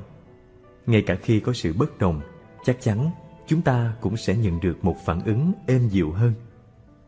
Nói năng hòa nhã cũng là cách rất tốt để ta luôn tỉnh thức trong giây phút hiện tại. Khi ta nói ta biết mình đang muốn nói gì và nên nói ra như thế nào. Bằng cách đó, chúng ta ý thức đầy đủ về bối cảnh giao tiếp hiện tại mà không bị chi phối bởi bất cứ định kiến hay sự lơi đỉnh nào. Nói năng theo cách nặng nề thô lỗ thường là do thói quen tập nhiễm lâu ngày. Nói năng hòa nhã cũng là một thói quen ngược lại mà ta hoàn toàn có thể tạo ra được. Để có được hạnh phúc trong cuộc sống chúng ta không thể không quan tâm đến việc lựa lời mà nói cho vừa lòng nhau. Sống đơn giản. Sống đơn giản là một trong những phương thức giúp bạn có được hạnh phúc trong cuộc sống mà không đòi hỏi phải tốn kém nhiều. Nhưng ngược lại, nó đòi hỏi một sự hiểu biết và quyết tâm kiên trì thực hiện. Bởi vì thay đổi cách sống là một trong những điều khó làm nhất đối với hầu hết chúng ta sống đơn giản hoàn toàn không có nghĩa là gạt bỏ những nhu cầu thiết yếu trong cuộc sống. Chỉ có điều là chúng ta thường có quá nhiều nhu cầu để đòi hỏi. Đến nỗi ta khó lòng phân biệt được đâu là những nhu cầu tối thiểu và thiết yếu cho cuộc sống. Hơn thế nữa, chúng ta thường xác định những gì mình cần dựa vào nhận thức của những người chung quanh, thay vì là theo phán đoán của chính mình đây là một điều nghe có vẻ như vô lý, nhưng tiếc thay, đó lại là sự thật đối với rất nhiều người. Nếu bạn là ngoại lệ, đó là một điều rất tốt cho chính bản thân bạn. Nếu chúng ta không quay nhìn lại để tự giới hạn những mong muốn của mình, những mong muốn ấy sẽ không bao giờ tự nó có giới hạn. Vấn đề ở đây là bạn phải giới hạn những nhu cầu của mình ở mức độ nào. Điều đó có thể là khác nhau ở mỗi người với tôi, một máy điện toán cá nhân là vô cùng thiết yếu. Nhưng với một người khác, có thể đó là sự xa xỉ. Bạn cần phải tự xác định những nhu cầu nào là thiết yếu đối với chính mình, chứ không phải là ai khác. Có một nguyên tắc tương đối đơn giản để bạn làm được điều đó. Khi việc loại bỏ một nhu cầu làm cho bạn cảm thấy dễ chịu hơn là theo đuổi và đạt được nó, bạn có thể yên tâm gạt bỏ nó ra khỏi danh sách phấn đấu của mình chẳng hạn như, bạn nghĩ rằng mình cần gắn một máy điều hòa không khí trong nhà vì có những ngày nóng bức, bạn cảm thấy dường như không sao chịu nổi. Tất nhiên, điều trước tiên là bạn phải ước tính ngân sách cho việc này. Thêm vào đó, bạn cũng phải tính đến hóa đơn tiền điện tăng giọt hàng tháng do việc sử dụng máy điều hòa không khí.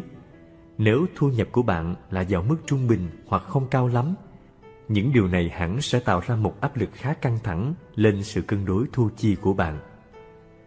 Ngược lại, về phía bên kia của vấn đề là sự thoải mái có được sau khi gắn máy điều hòa không khí. Điều này lại tùy thuộc vào thời gian bạn có mặt ở nhà và cũng dùng đến máy, kèm theo với mức độ nóng gắt của thời tiết đã tác động đến bạn như thế nào. Bây giờ, bạn thử nghĩ đến việc loại bỏ kế hoạch gắn máy điều hòa không khí nếu sự dễ chịu mang lại do quyết định này, vì loại trừ được sự căng thẳng về tài chính, có thể lớn hơn là sự dễ chịu mà bạn có được sau khi gắn máy điều hòa không khí. Điều đó có nghĩa là bạn có thể yên tâm gạt bỏ nhu cầu này. Bạn có thể xem xét vấn đề một cách tương tự trước khi mua sắm thêm đồ đạc trong nhà, quyết định một kỳ nghỉ ở xa hay tu sửa nhà cửa vào dịp năm mới. Mỗi một vấn đề đều có thể là thiết yếu hoặc không thiết yếu. Điều đó phụ thuộc vào hoàn cảnh cụ thể và khả năng tài chính của chính bạn.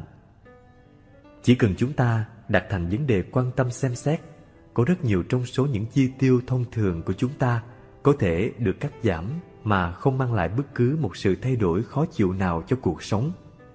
Và điều đó cũng có nghĩa là ta sẽ được dễ chịu hơn do sự giảm nhẹ áp lực tài chính thường thì chúng ta không chọn lối sống đơn giản, chỉ vì những người quanh ta không chọn sống như thế. Một áo sơ mi tuy cũ, nhưng có thể vẫn còn dùng rất tốt, sẽ bị thay thế, không phải vì chủ nhân của nó thực sự muốn thay thế, mà chỉ vì chung quanh anh ta, mọi người đều đã mặc những chiếc áo mới theo một thời trang mới. Chúng ta cần thay đổi quan niệm ấy. Chúng ta cần điều gì?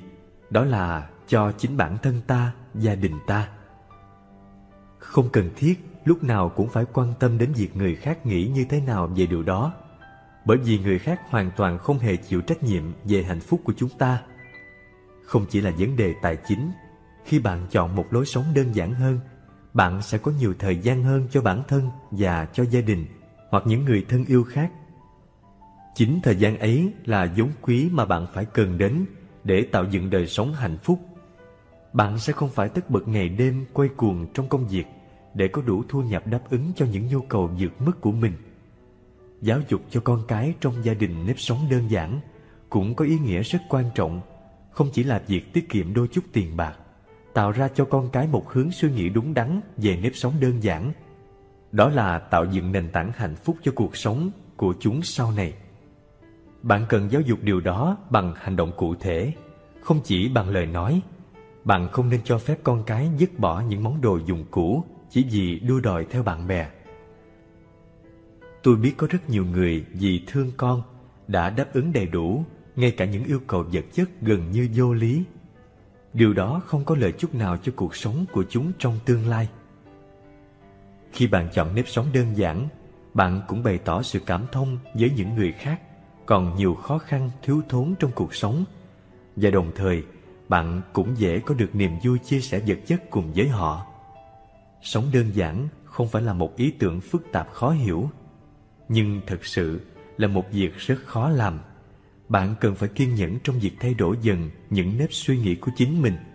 Tuy nhiên, nếu bạn có đủ quyết tâm để thực hiện, bạn sẽ được bù đắp xứng đáng bằng những niềm vui mà cuộc sống đua đòi bon chen không thể nào mang đến cho bạn được. Và đó chính là nền tảng cơ bản cho một cuộc sống yên vui, hạnh phúc.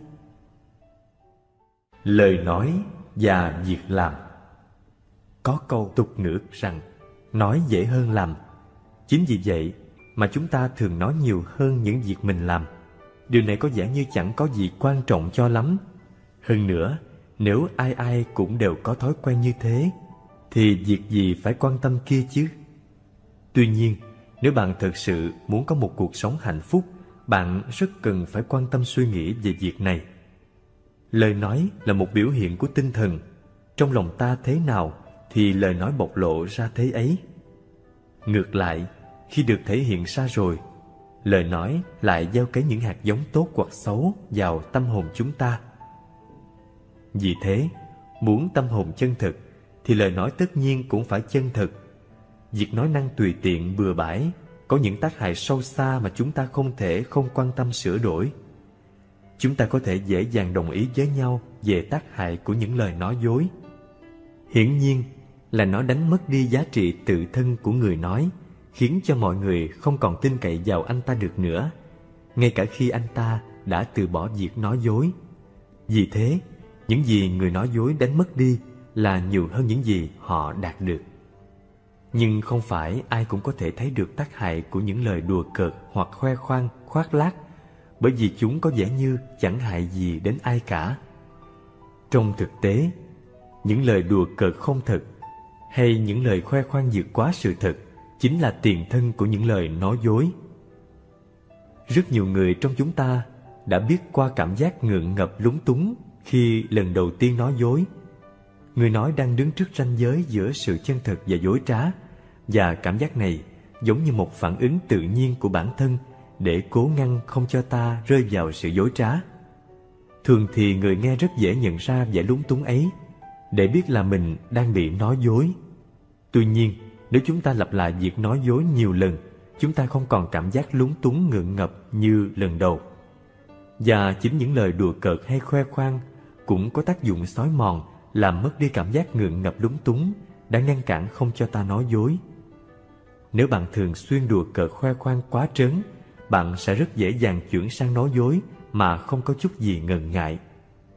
Mặt khác, bản thân người nói không phải bao giờ cũng ý thức rõ được mình đang nói những lời không thật.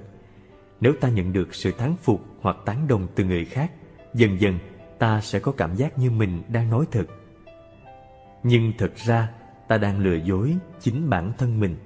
Và điều này về lâu dài sẽ khiến cho ta mất khả năng phân biệt rạch ròi giữa sự chân thật và dối trá. Một khuynh hướng rất thông thường là chúng ta luôn nói nhiều hơn mức cần thiết. Một trong những lý do dẫn đến điều này cũng là vì nói dễ hơn làm. Đôi khi chúng ta tập thành thói quen nói rất nhiều mà không quan tâm đúng mức đến những gì mình nói ra. Sự làm phát lời nói này luôn được những người chung quanh ta cảm nhận được và phản ứng lại bằng cách đánh giá thấp lời nói của ta. Điều này cũng có nghĩa là chỉ cần ta bớt nói đi, lời nói của ta sẽ tự nhiên có giá trị cao hơn. Nhưng vấn đề cũng không đơn giản chỉ có thế.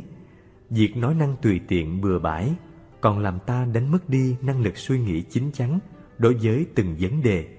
Thay vì tập trung sự chú ý sáng suốt để tìm ra giải pháp tốt nhất, ta dễ dàng hài lòng với bất cứ phát biểu nào vừa chợt nghĩ ra được. Biết hạn chế lời nói một cách thích hợp chúng ta còn tiết giảm được một năng lượng đáng kể cần thiết cho cơ thể. Cũng có thể bạn có phần nào hoài nghi về việc nói nhiều có ảnh hưởng đến sức khỏe, nhưng đó là sự thật. Người xưa cũng đã nhận biết được điều này nên có nói khẩu khai thần khí tán, miệng mở ra là thần khí phải hao tổn. Tất nhiên nói như vậy hoàn toàn không có nghĩa là chúng ta phải trở nên lầm lì ít nói. Có điều là chỉ nên nói những gì ta thấy cần thiết mà thôi. Khi chúng ta biết quan tâm hạn chế những lời nói không cần thiết, chúng ta sẽ tiến dần đến chỗ làm được tất cả những gì mình nói. Để cho lời nói đi đôi với việc làm không phải là chuyện dễ dàng. Nhưng nếu ta chỉ nói ra những điều đã cân nhắc thận trọng thì điều này hoàn toàn có thể thực hiện được. Khi nói ra với sự ý thức đầy đủ là mình sẽ thực hiện lời nói đó, chính là chúng ta đã biết sống tỉnh thức trong hiện tại mà không buông bỏ những giây phút sống của mình vào sự lơ đễnh, lãng quên. Việc giữ cho lời nói đi đôi với việc làm sẽ hoàn thiện nhân cách của bạn rất đáng kể. Và điều này có thể dễ dàng nhận ra được qua cung cách mà những người chung quanh sẽ đáp lại đối với bạn. Bạn sẽ không còn mấy khi phải nghe người khác than phiền về chuyện nói dễ hơn làm. Hạnh phúc là điều có thực.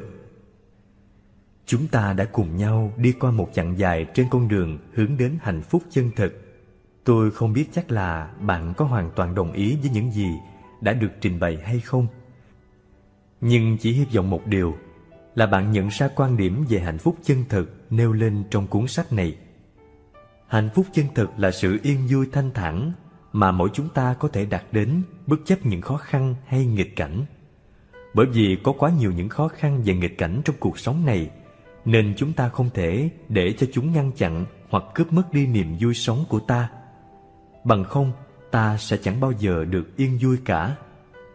Như vậy, hạnh phúc chân thực không thể phụ thuộc vào những gì chúng ta có được, mà nó hoàn toàn đạt đến bằng vào cách sống của chúng ta. Có thể chúng ta còn nghèo khó hoặc rất giàu sang hoặc gặp nhiều may mắn hoặc có lắm rủi ro. Nhưng nếu chúng ta có một nhận thức đúng về cuộc sống và biết sống hết lòng, chúng ta đều có thể đạt đến cuộc sống yên vui hạnh phúc ngay trong hoàn cảnh của chính mình.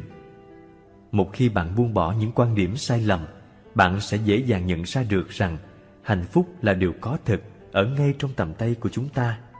Ngay tại đây và trong giây phút này, trong từng hơi thở biểu hiện sự tồn tại của ta trong cuộc sống nhiệm màu này. Mong sao những gì bạn đọc được trong cuốn sách này sẽ không góp thêm phần vào gánh nặng tri thức của bản thân.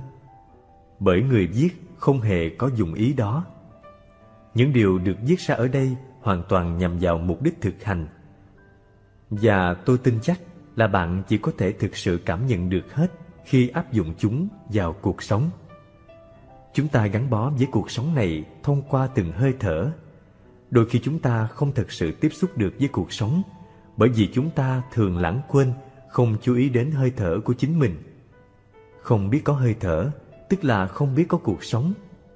Cuộc sống sẽ không là gì cả nếu không là hiện tại mà ta đang cảm nhận. Vì vậy, chúng ta không thể tiếp xúc với cuộc sống nếu chúng ta lãng quên hơi thở trong hiện tại. Có thể bạn hoài nghi điều đó, nhưng bạn không thể không nhận ra điều này. Khi không tỉnh thức trong hiện tại, bạn sẽ ngay lập tức bị cuốn hút về giới quá khứ hoặc tương lai. Và thật đáng buồn là chẳng bao giờ có thể có được hạnh phúc trong quá khứ hoặc tương lai. Vì vậy, trước khi chia tay, tôi mời bạn hãy cùng tôi thử đến với cuộc sống qua chừng vài mươi hơi thở, hoặc có thể nhiều hơn nữa nếu sau đó bạn cảm thấy có sự thích thú. Trước tiên, xin mời bạn hãy mỉm cười. Bạn không cần phải nêu ra một lý do nào đó cho việc mỉm cười. Chỉ một việc bạn đang tồn tại và đang đến cùng cuộc sống. Như thế là đã quá đủ để mỉm cười. Bây giờ, mời bạn hãy ngồi xuống thật thoải mái. Bạn đang ở trong phòng khách ư? Cũng tốt. Bạn đang đi dạo ngoài giường ư? Càng tốt hơn. Bạn cũng có thể là đang ở bất cứ đâu, thậm chí bạn đang đọc những dòng này trên xe buýt, không hề gì.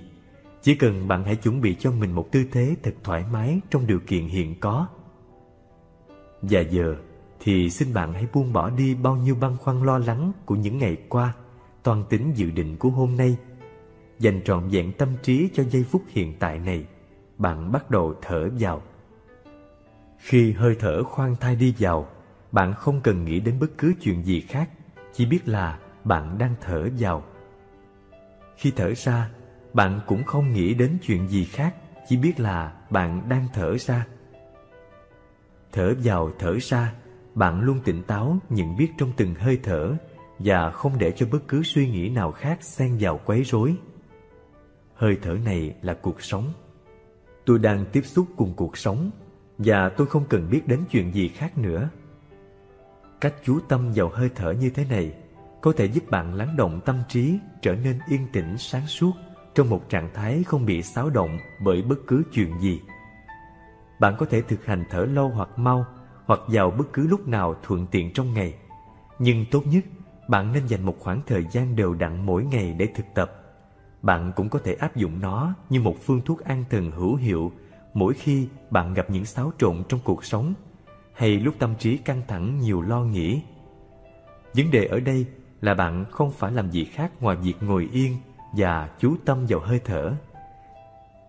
Chỉ cần như thế, bạn sẽ quay trở về tiếp xúc với cuộc sống này và bạn sẽ nhận ra chẳng có gì là có thể quan trọng hơn điều đó cả.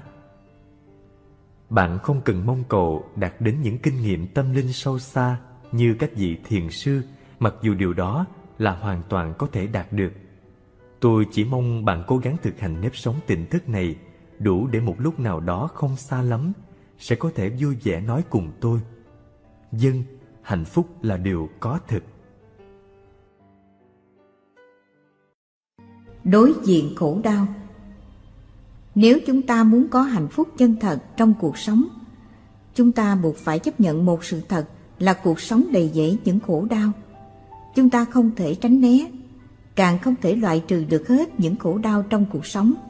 Chúng ta cần phải biết cách đối diện, nhận thức và chuyển hóa chúng. Cuộc sống đầy dẫy những khổ đau, cho dù ta có là người may mắn nhất trong nhân loại, ta cũng không thể tránh khỏi những nỗi khổ nhất định. Sự hiện hữu của những khổ đau đã bắt đầu ngay từ lúc chúng ta mở mắt chào đời. Chúng ta sợ phải chết, nhưng tất cả chúng ta đều phải chết.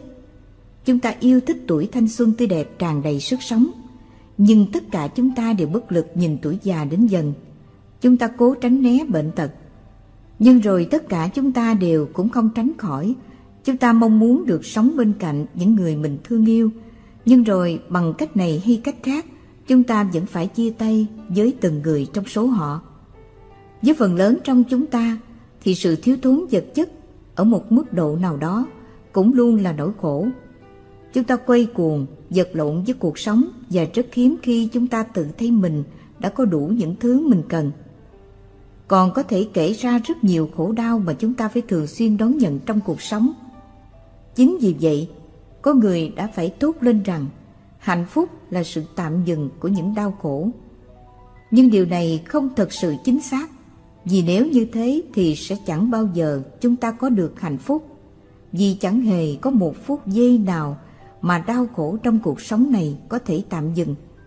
Thay vì mong đợi sự tạm dừng của đau khổ để có được đôi chút hạnh phúc mong manh ngắn ngủi, chúng ta hãy đối diện và nhìn sâu vào bản chất của đau khổ khi hiểu rõ được bản chất của chúng, ta sẽ có thể chấp nhận và chuyển hóa.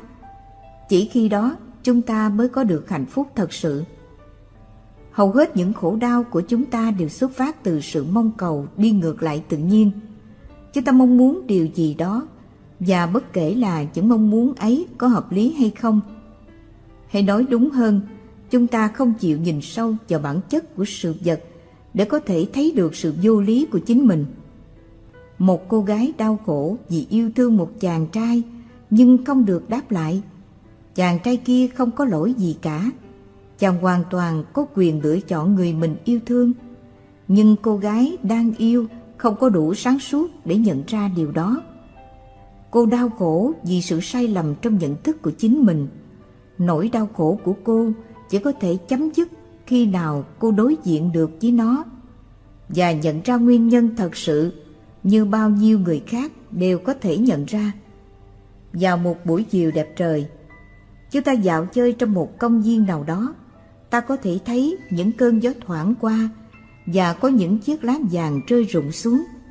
Chiếc lá đã sống trọn một cuộc đời rất đẹp. Từng phút giây tồn tại, nó đã cống hiến trọn vẹn cho sự chuyển hóa dòng nhựa nguyên thành nhựa luyện để nuôi cây. Lá sinh ra từ cây nhưng trong một ý nghĩa khác, vì lá đã nuôi sống cây nên lá cũng là mẹ của cây. Hết một đời mình, lá rơi rụng về với lòng đất, lại tiếp tục chuyển hóa thành phân mục để nuôi cây.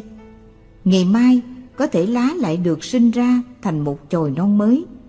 Trong bức tranh sinh động này, chúng ta có thể thấy rõ quy luật của đời sống. Mỗi người chúng ta là một chiếc lá trên thân cây cuộc đời. Ta không thể tồn tại mãi mãi, nhưng ta có thể sống thật trọn vẹn đời sống của mình.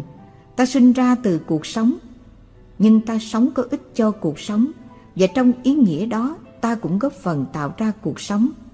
Thế nhưng, hầu hết chúng ta không hài lòng với việc trở về lòng đất như chiếc lá kia. Ta đau khổ vì ta không nhận ra và chấp nhận quy luật tự nhiên của cuộc sống. Tất cả những thực thể sống đều sinh ra và chết đi. Chiếc lá sinh ra và chết đi. Đóa hoa hồng sinh ra và chết đi. Nhưng những vật vô tri giác như một tảng đá chẳng hạn, không có sự sinh ra và chết đi theo cách như thế. Chúng chỉ được hình thành và hủy hoại theo thời gian. Chúng không có sự sống và sự chết.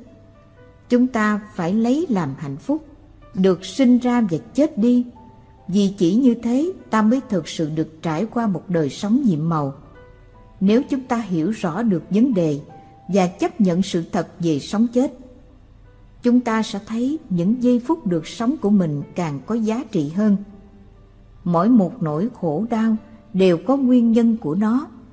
Nếu chúng ta biết suy xét để nhận ra những nguyên nhân sâu xa và đích thật ta sẽ có thể chấp nhận và chuyển hóa nỗi khổ đau thành năng lực thúc đẩy ta nỗ lực sống tốt hơn. Cơ thể chúng ta không rắn chắc như sắt đá, nên một đôi khi ta mắc phải bệnh tật, điều ấy là tự nhiên. Hiểu được điều đó, ta càng biết quý trọng và cảm nhận niềm vui trong những lúc được sống khỏe mạnh, không bệnh tật, càng cố gắng giữ gìn sức khỏe một cách tích cực hơn, tránh xa những thức ăn uống hoặc những cuộc chơi bời có hại cho sức khỏe. Chúng ta cũng có thể nghĩ về tuổi già như một động lực để sống tốt hơn trong những ngày còn trẻ. Những thương tổn về tình cảm cũng gây cho chúng ta nhiều đau khổ nếu chúng ta không biết cách đối trị với chúng. Khi gánh chịu những sự bất công, xúc phạm hoặc khinh miệt, chúng ta thường ôm ấp những thương tổn đó như những vết thương trong tâm hồn và chúng ta đau khổ vì chúng.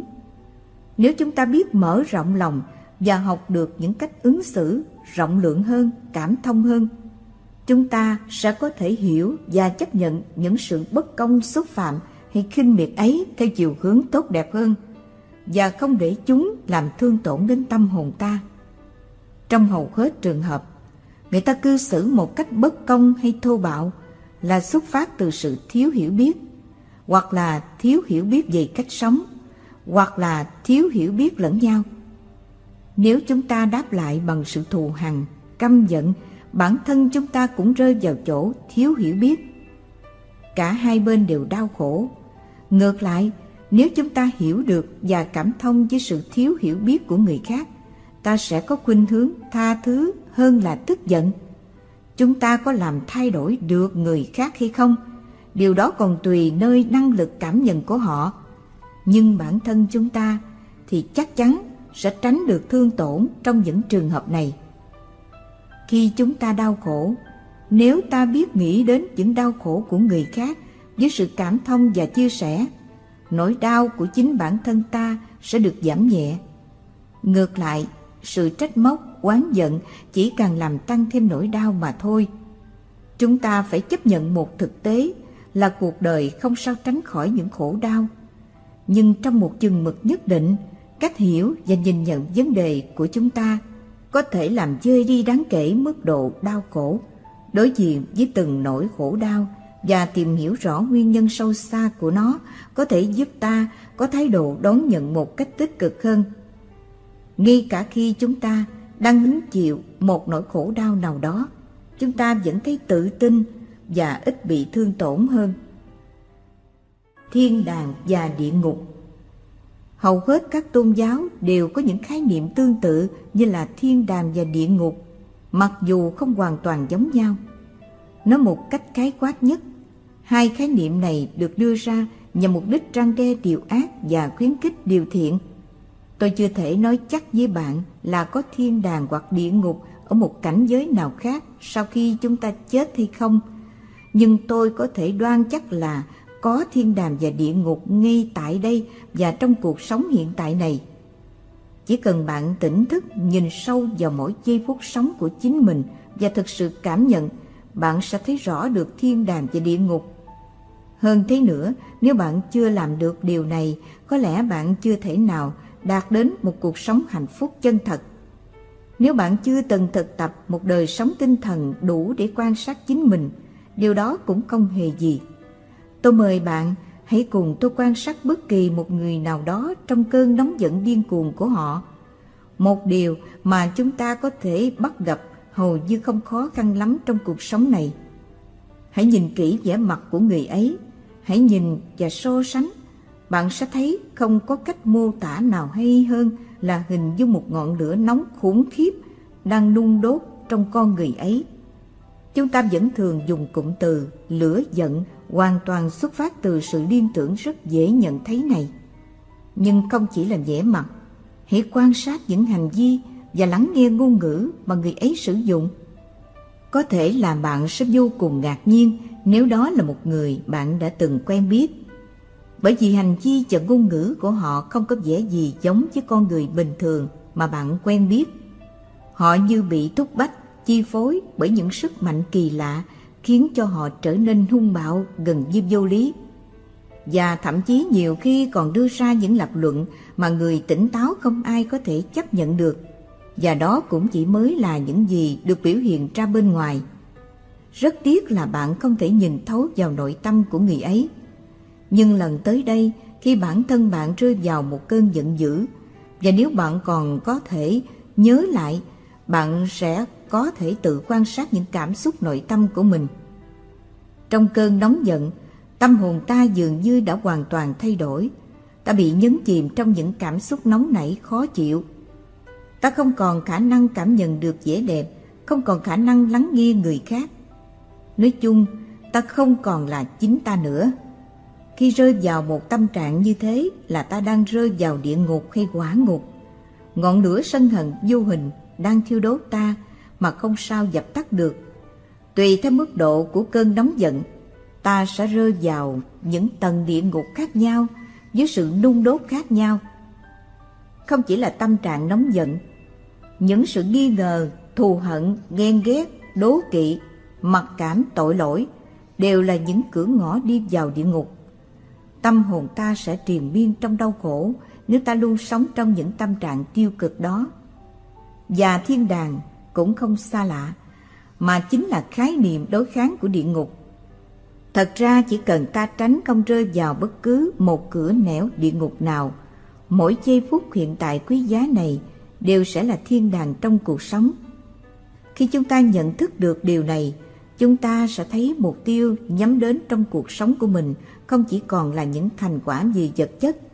Trong thực tế, những thành quả vật chất tuy là cần thiết nhưng phải được xem là thứ yếu so với những tiến bộ về tinh thần.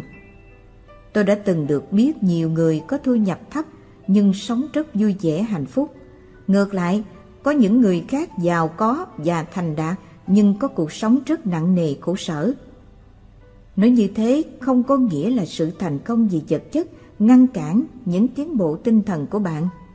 Nếu có thể đạt được cả hai thì thật là lý tưởng nhưng thường thì chúng ta rất hiếm khi được may mắn đến thế. Vì vậy, nếu phải chọn lựa một hướng phấn đấu cho cuộc sống của mình, hy vọng là bạn sẽ không chọn những nẻo đường đi vào địa ngục.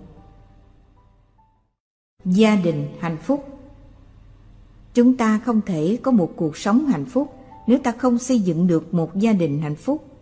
Điều này thật quá đơn giản, dễ hiểu, bởi vì phần lớn cuộc sống của chúng ta đa số những người bình thường là gắn bó với gia đình. Điều mà có thể đôi khi chúng ta không nghĩ đến là gia đình còn rất quan trọng đối với chúng ta bởi vì mỗi gia đình đều có một truyền thống. Những gì bạn có được hôm nay, tôi muốn nói đến cả tinh thần lẫn vật chất, là một sự kế thừa tất nhiên từ ông bà, cha mẹ, tổ tiên nhiều đời. Trong đó ảnh hưởng trực tiếp của cha mẹ tất nhiên là quan trọng nhất. Vì thế, chúng ta không chỉ để lại cho con cái sản nghiệp mà chúng ta tạo ra, chúng ta còn để lại cho chúng cả những hạnh phúc hay khổ đau mà đôi khi bản thân chúng cũng không nhận biết được. Nếu các bậc cha mẹ luôn hằng học đối xử thô bạo trong gia đình, con cái của họ sẽ lớn lên trong một môi trường tiêu cực và hung đúc những sự hằng học thô bạo ấy trong tâm hồn chúng. Chúng sẽ trở nên những người hằng học thô bạo mà tự thân chúng đôi khi không dễ nhận ra. Rất ít người biết quan tâm đến cách đối xử với con cái để tạo một gia đình hạnh phúc. Nếu bạn là một trong số những người này, tôi xin chúc mừng bạn.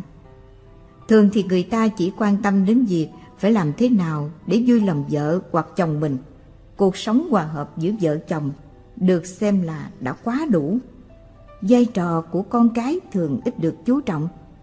Điều này cũng dễ hiểu, dưới mắt các bậc cha mẹ, con cái bao giờ cũng chỉ là trẻ con, mà trẻ con suy nghĩ thế nào thì có ảnh hưởng gì đến hạnh phúc gia đình kia chứ? Người ta thường cho rằng chỉ cần làm tròn trách nhiệm, quan tâm lo lắng đầy đủ cho con cái là đủ rồi. Hơn thế nữa, nếu cảm thấy việc gì là tốt đẹp cho con cái, họ sẵn sàng bắt buộc chúng phải nghe theo mà không cần quan tâm đến việc chúng có hiểu và chấp nhận hay không. Cách nghĩ như thế làm thương tổn rất nhiều cho hạnh phúc gia đình, bởi vì thật ra trẻ con vẫn có những suy nghĩ, nhận thức riêng của chúng. Chưa nói đến việc dưới mắt của nhiều bậc cha mẹ, trẻ con của họ thật ra có thể đã là những thanh niên, thiếu nữ hoặc đã vượt qua cả độ tuổi trưởng thành. Khi chúng ta cư xử theo cách áp chế con cái, chúng không thể phản kháng, hoặc đôi khi có phản kháng cũng không đi đến kết quả gì. Điều đó để lại trong tâm hồn chúng những thương tổn sâu đậm rất khó hàn gắn sau này. Thường thì bản thân chúng ta cũng có ít nhiều những thương tổn như vậy do cha mẹ ta tạo ra. Chỉ cần suy xét kỹ, ta có thể nhận ra điều ấy. Theo cách này, những ảnh hưởng tiêu cực được truyền nối từ thế hệ này sang thế hệ khác. Và đây là một trong những nguyên nhân khiến cho ta cảm thấy một vài tính cách nào đó dường như là phổ biến trong những thành viên của cùng một gia đình. Để hiểu được con cái, chúng ta cần tạo ra sự cởi mở, thân mật trong sự tiếp xúc với chúng. Từ lâu, sự nghiêm khắc với con cái vẫn được xem là phương thức giáo dục phổ biến và mang lại hiệu quả nhất. Có lẽ điều này cần xem xét lại. Chúng ta có thể nhìn thấy kết quả của sự nghiêm khắc trong tình huống hiện tại, nhưng về lâu dài nó làm tổn thương nặng nề đến tình cảm giữa cha mẹ và con cái. Trong số những người tôi quen biết, có nhiều người không sao xóa bỏ được những ấn tượng không tốt về cha mẹ, cho dù họ vẫn biết như thế là không phải. Vì thế, để có một gia đình hạnh phúc, ta nên xem con cái như những thành viên cần phải được quan tâm một cách thích hợp trong gia đình. Nếu con cái đã đủ lớn, chúng cần được tham gia, bàn thảo hoặc chia sẻ những vấn đề của gia đình cho dù quyền quyết định vẫn thuộc về cha mẹ. Nếu được quan tâm giải thích, đôi khi trẻ con có thể làm chúng ta ngạc nhiên vì khả năng tiếp thu và ghi nhớ của chúng. Vì thế, khi muốn trẻ làm hoặc không làm điều gì, ta cần giải thích cho chúng hiểu hơn là bắt buộc. Có lần, tôi thấy một đứa bé đùa nghịch bằng cách nắm hai cánh bướm và giật ra. Tôi nói với em, Này em, Em có biết là làm như thế thì tối nay con bướm sẽ không thể bay về nhà được nữa không? Em có biết là cha mẹ bướm sẽ trông đợi lo lắng như thế nào không? Hãy nghĩ xem nếu tối nay em không về nhà thì cha mẹ em sẽ trông đợi lo lắng đến mức nào? Hôm sau, trong lúc trời đang đổ mưa, tôi nhìn thấy y cũng em bé ấy ngồi bên dòng nước chảy cạnh hiên nhà, cẩn thận vớt mấy con ốc sên đang bị cuốn theo dòng nước. Dứt mưa, em mang mấy con ốc ra, đặt nhẹ nhàng dưới một bụi cây.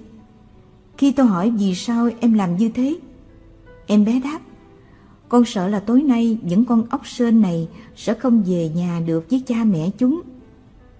Thật cảm động và đáng ngạc nhiên biết bao. Trẻ con không chỉ là trẻ con, chúng là tương lai, là thế hệ nối tiếp của chúng ta. Một gia đình hạnh phúc là một gia đình phải tạo ra được sự hòa hợp không chỉ giữa vợ chồng với nhau mà là cả giữa cha mẹ với con cái nữa. Nếu bạn tạo ra những khoảng cách nhất định nào đó làm cho con cái ngần ngại không chia sẻ những khó khăn của chúng với bạn chính là bạn đang đe dọa đến hạnh phúc của gia đình con cái cũng cần được giáo dục để biết cách tham gia vào việc xây dựng hạnh phúc gia đình. Vì bản thân bạn có thể cũng đã là nạn nhân của những sai lầm từ các thế hệ trước, bạn nên học biết cách cảm thông và tha thứ. Nhờ đó, bạn sẽ không lặp lại cùng những sai lầm như thế với con cái mình. Nhưng vì bạn cũng là con người, bạn vẫn có thể mắc phải một vài sai lầm khác và bạn nên dạy cho con cái cũng biết cảm thông và tha thứ như mình. Tất cả chúng ta đều muốn có một gia đình hoàn hảo. Nhưng khiếm khuyết là bản chất tự nhiên của mỗi con người. Và chúng ta không vì thế mà đánh mất đi hạnh phúc của sự hòa hợp. Yêu thương và sở hữu. Có một khuynh hướng màu hết chúng ta đều mắc phải. Chúng ta luôn mong muốn được sở hữu tất cả những gì mình yêu thương, ưa thích dạo chơi ngoài giường, gặp một bông hoa đẹp. Ý nghĩ đầu tiên của ta là cắt lấy và mang về. Cho dù ta biết là làm như thế bông hoa sẽ chống tàn úa hơn, nhưng ta vẫn muốn nó là của ta. Thay vì là để nó lại trong tự nhiên bên bờ dậu. Chúng ta nuôi chim kiển cá cảnh cũng không ngoài khuynh hướng này. Cho dù ta biết rất rõ rằng những con chim trong lòng sắt kia không còn bay nhảy một cách tự nhiên, xinh đẹp như khi chúng sống giữa thiên nhiên. Nhưng dù sao đi nữa, chúng là của ta. Khuynh hướng này không chỉ đúng với những vật sở hữu, theo cách hiểu như đồ vật, con vật, nó còn đúng cả trong cách ta đối xử với những người mình thương yêu. Lòng ghen tuông cũng là một trong những biểu hiện của khuynh hướng của ta này. Tuy vậy, lòng yêu thương chân thật không gắn liền với ý muốn sở hữu người mình thương yêu, hay nói cách khác, chỉ khi ta trừ bỏ được ý muốn sở hữu, ta mới có thể đạt đến sự thương yêu chân thật. Lòng cha mẹ thương con là một ví dụ điển hình, không có sự tính toán được mất, hay nói đúng hơn là một thứ tình thương, cho đi mà rất hiếm khi nhận lại. Lo lắng chăm sóc cho con từ tấm bé, cho đến khi dựng vợ gả chồng, cha mẹ dường như mất tất cả không nhận lại được gì. Họ chỉ mong cho con tạo lập được một gia đình hạnh phúc, không hề mong rằng đứa con ấy sẽ mãi mãi là sở hữu của riêng mình. Phần lớn tình thương mà chúng ta ban phát ra trong cuộc sống đều thuộc dạng có điều kiện. Chúng ta rất ít khi yêu thương ai theo cách chỉ đơn thuần vì đó là người ta yêu thương. Khi yêu thương như thế, ta thường không cảm nhận được hết sức mạnh, niềm vui mà tình thương mang lại trong một vài trường hợp, ta cũng có thể bắt gặp những tình yêu vô điều kiện. Khi người ta thật sự hết lòng yêu thương ai đó, sức mạnh của những tình yêu như thế có thể được cảm nhận qua việc người ta sẽ làm bất cứ điều gì vì người mình thương yêu. Chúng ta nên học cách yêu thương như thế, đó mới chính là lòng yêu thương chân thật. Lòng yêu thương như vậy có khả năng hàn gắn mọi khổ đau và mang lại cho ta niềm vui sống bất tận khi không có được lòng yêu thương chân thật, đôi khi chúng ta làm rất nhiều việc tốt, nhưng chúng mang lại cho ta những niềm vui hạn chế. Như khi ta tham gia cứu trợ chẳng hạn, nếu xuất phát từ lòng thương yêu chân thật, muốn chia sẻ khó khăn cùng đồng loại, ta sẽ không cần quan tâm đến việc tên tuổi mình có được ghi nhận và công bố hay không, hoặc công bố theo hình thức như thế nào. Nhiều người không làm được như vậy nên niềm vui mang lại từ việc làm của họ bị hạn chế. Khi yêu thương chân thật, ta cũng dễ dàng tha thứ và cảm thông hơn bởi ta không đòi hỏi người ta yêu thương phải đáp trả như thế nào. Điều đó giúp cho tâm hồn ta thanh thản và thật sự có được hạnh phúc yêu thương. Khi chúng ta tự quan sát chính mình theo cách hiểu về lòng yêu thương chân thật như thế này, chúng ta dễ dàng tự biết là mình đã đạt được lòng yêu thương chân thật hay chưa có thể là chúng ta thấy phần nào xa lạ với cách hiểu này trong những lần thực tập đầu tiên. Nhưng khi đã quen thuộc, chúng ta sẽ cảm nhận được rằng nó hoàn toàn khác xa với kiểu tình thương chiếm hữu của chúng ta trước đây. Nó mang lại cho chúng ta niềm vui và hạnh phúc chân thật. Người giàu cũng khổ. Phần lớn trong chúng ta, ai cũng mong muốn được giàu có đôi khi chúng ta bỏ cả nửa cuộc đời hoặc nhiều hơn thế nữa để có thể trở nên giàu có. Sự đầy đủ về vật chất quả thực mang lại cho ta rất nhiều sự thoải mái trong cuộc sống và cũng bớt đi những nỗi lo toan chuyện cơm áo hàng ngày. Nhưng nhìn sâu vào vấn đề, người giàu nói chung cũng vẫn có những khó khăn nhất định trong cuộc sống, nhất là khi ta xét từ góc độ đi tìm một cuộc sống hạnh phúc. Phần lớn người giàu, nếu không nói là tất cả, đều đã nỗ lực rất nhiều để có thể trở nên giàu có. Và dù họ có thành công đến mức độ nào đi nữa, để có được và củng cố vị trí của mình trong xã hội, quả thực với họ cũng không dễ dàng gì. Vấn đề đối với hầu hết những người giàu là sự khan hiếm thời gian dành cho bản thân và gia đình. Suốt một quá trình nỗ lực lâu dài đã tạo cho họ thói quen làm việc căng thẳng, tích cực và rất ít người cho rằng điều đó có gì cần phải thay đổi. Kèm theo đó, người giàu có nhiều cơ hội để làm việc. Phần lớn họ là những người làm việc độc lập, có đủ vốn liếng để phát triển công việc không giới hạn. Hoặc nếu họ đi làm cho người khác thì cũng là những cương vị tốt, có thu nhập cao và do đó đòi hỏi trách nhiệm cũng nặng nề. Những điều ấy dẫn đến một thực tế là người giàu thường có quá nhiều cơ hội tốt để dành thời gian cho công việc. Điều đó mang lại cho họ thu nhập ngày càng lớn hơn. Nhưng cũng thu hẹp thời gian họ dành cho bản thân và gia đình ngày càng hiếm hoi hơn. Ngược lại, những người ở tầng lớp trung lưu hoặc nghèo khó thường có những giới hạn nhất định trong công việc.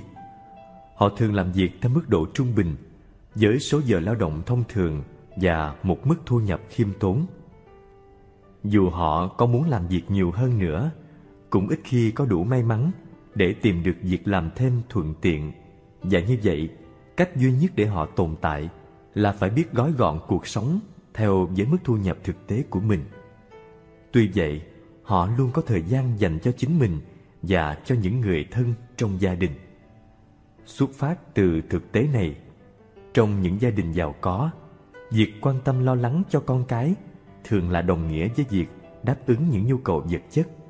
Con cái được sống sung túc, học hành đầy đủ và không phải thiếu thốn gì. Tuy nhiên, thường thì cha mẹ có ít thời gian dành ra để trực tiếp chăm sóc con cái. Điều này khiến cho con cái lớn lên trong sự thiếu thốn phần lớn tình cảm, bởi vì nhu cầu tình cảm của chúng là cần được sự gần gũi, chăm sóc bởi chính bàn tay cha mẹ, không chỉ là được đáp ứng đầy đủ về vật chất. Ngay cả trong quan hệ giữa vợ chồng với nhau cũng vậy, khuynh hướng chung là trong những gia đình giàu có, người ta luôn quá bận rộn để có thể dành thời gian thỏa đáng cho nhau. Và thật không may là điều này không sao có thể bù đắp lại bằng tiền bạc, vật chất. Nếu bản thân bạn là một người giàu có và tránh được tình huống rất thường gặp này, bạn có thể tự hào về điều đó. Mặt khác, có một tâm lý chung là người ta thường gần gũi quan tâm đến nhau nhiều hơn trong những hoàn cảnh thiếu thốn. Vợ chồng con cái trong những gia đình nghèo thường có tình cảm gắn bó rất sâu đậm với nhau Họ cùng nhau trải qua những giai đoạn khó khăn của gia đình. Họ biết là những người chung quanh lúc nào cũng cần đến sự quan tâm chia sẻ của họ. Sự thiếu thốn vật chất chung của cả gia đình khiến cho họ có những nhu cầu thiết yếu giống như nhau và dễ cảm thông nhau. Ngược lại, trong những gia đình giàu có, người ta không có gì thiếu thốn mà thường chỉ chạy theo những ham muốn riêng tư của mỗi người. Vì nhu cầu không giống nhau nên họ cũng ít gần gũi nhau. Tất nhiên chúng ta chỉ đang nói đến cái chung chung, không đề cập đến từng trường hợp cụ thể. Nếu người giàu tự ý thức được những điều này, họ có thể có sự điều chỉnh thích đáng để tạo một không khí gia đình ấm cúng hơn. Trong đó, các thành viên đều quan tâm và dành thời gian thỏa đáng cho nhau. Điều chắc chắn là như thế ta sẽ bớt giàu hơn đôi chút, nhưng môi trường tình cảm sẽ tốt đẹp hơn và gia đình vì thế được hạnh phúc hơn. Lựa lời mà nói cho vừa lòng nhau. Lời nói là một trong những yếu tố chi phối phần lớn cuộc sống của chúng ta.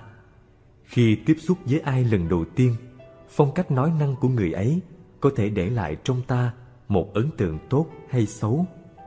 Nhiều người cho rằng việc nói năng dịu ngọt là biểu hiện của sự không trung thực và họ thích giao tiếp với những người có lối nói thẳng thừng, bộc trực hơn. Định kiến này không có gì để đảm bảo là đúng cả. Bản chất trung thực hay gian trá của một người không quan hệ đến việc người ấy nói năng dịu dàng hay thô thiển. Tuy nhiên, tôi có thể nói chắc điều này.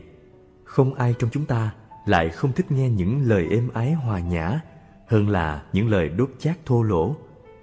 Tục ngữ ta đã có câu lựa lời mà nói cho vừa lòng nhau cũng là nói lên ý này.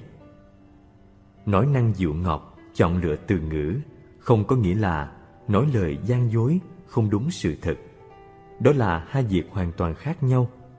Lựa lời mà nói có nghĩa là vẫn cùng một ý tưởng, một quan điểm, nhưng được cố gắng diễn đạt, trình bày theo cách êm ái hòa nhã nhất.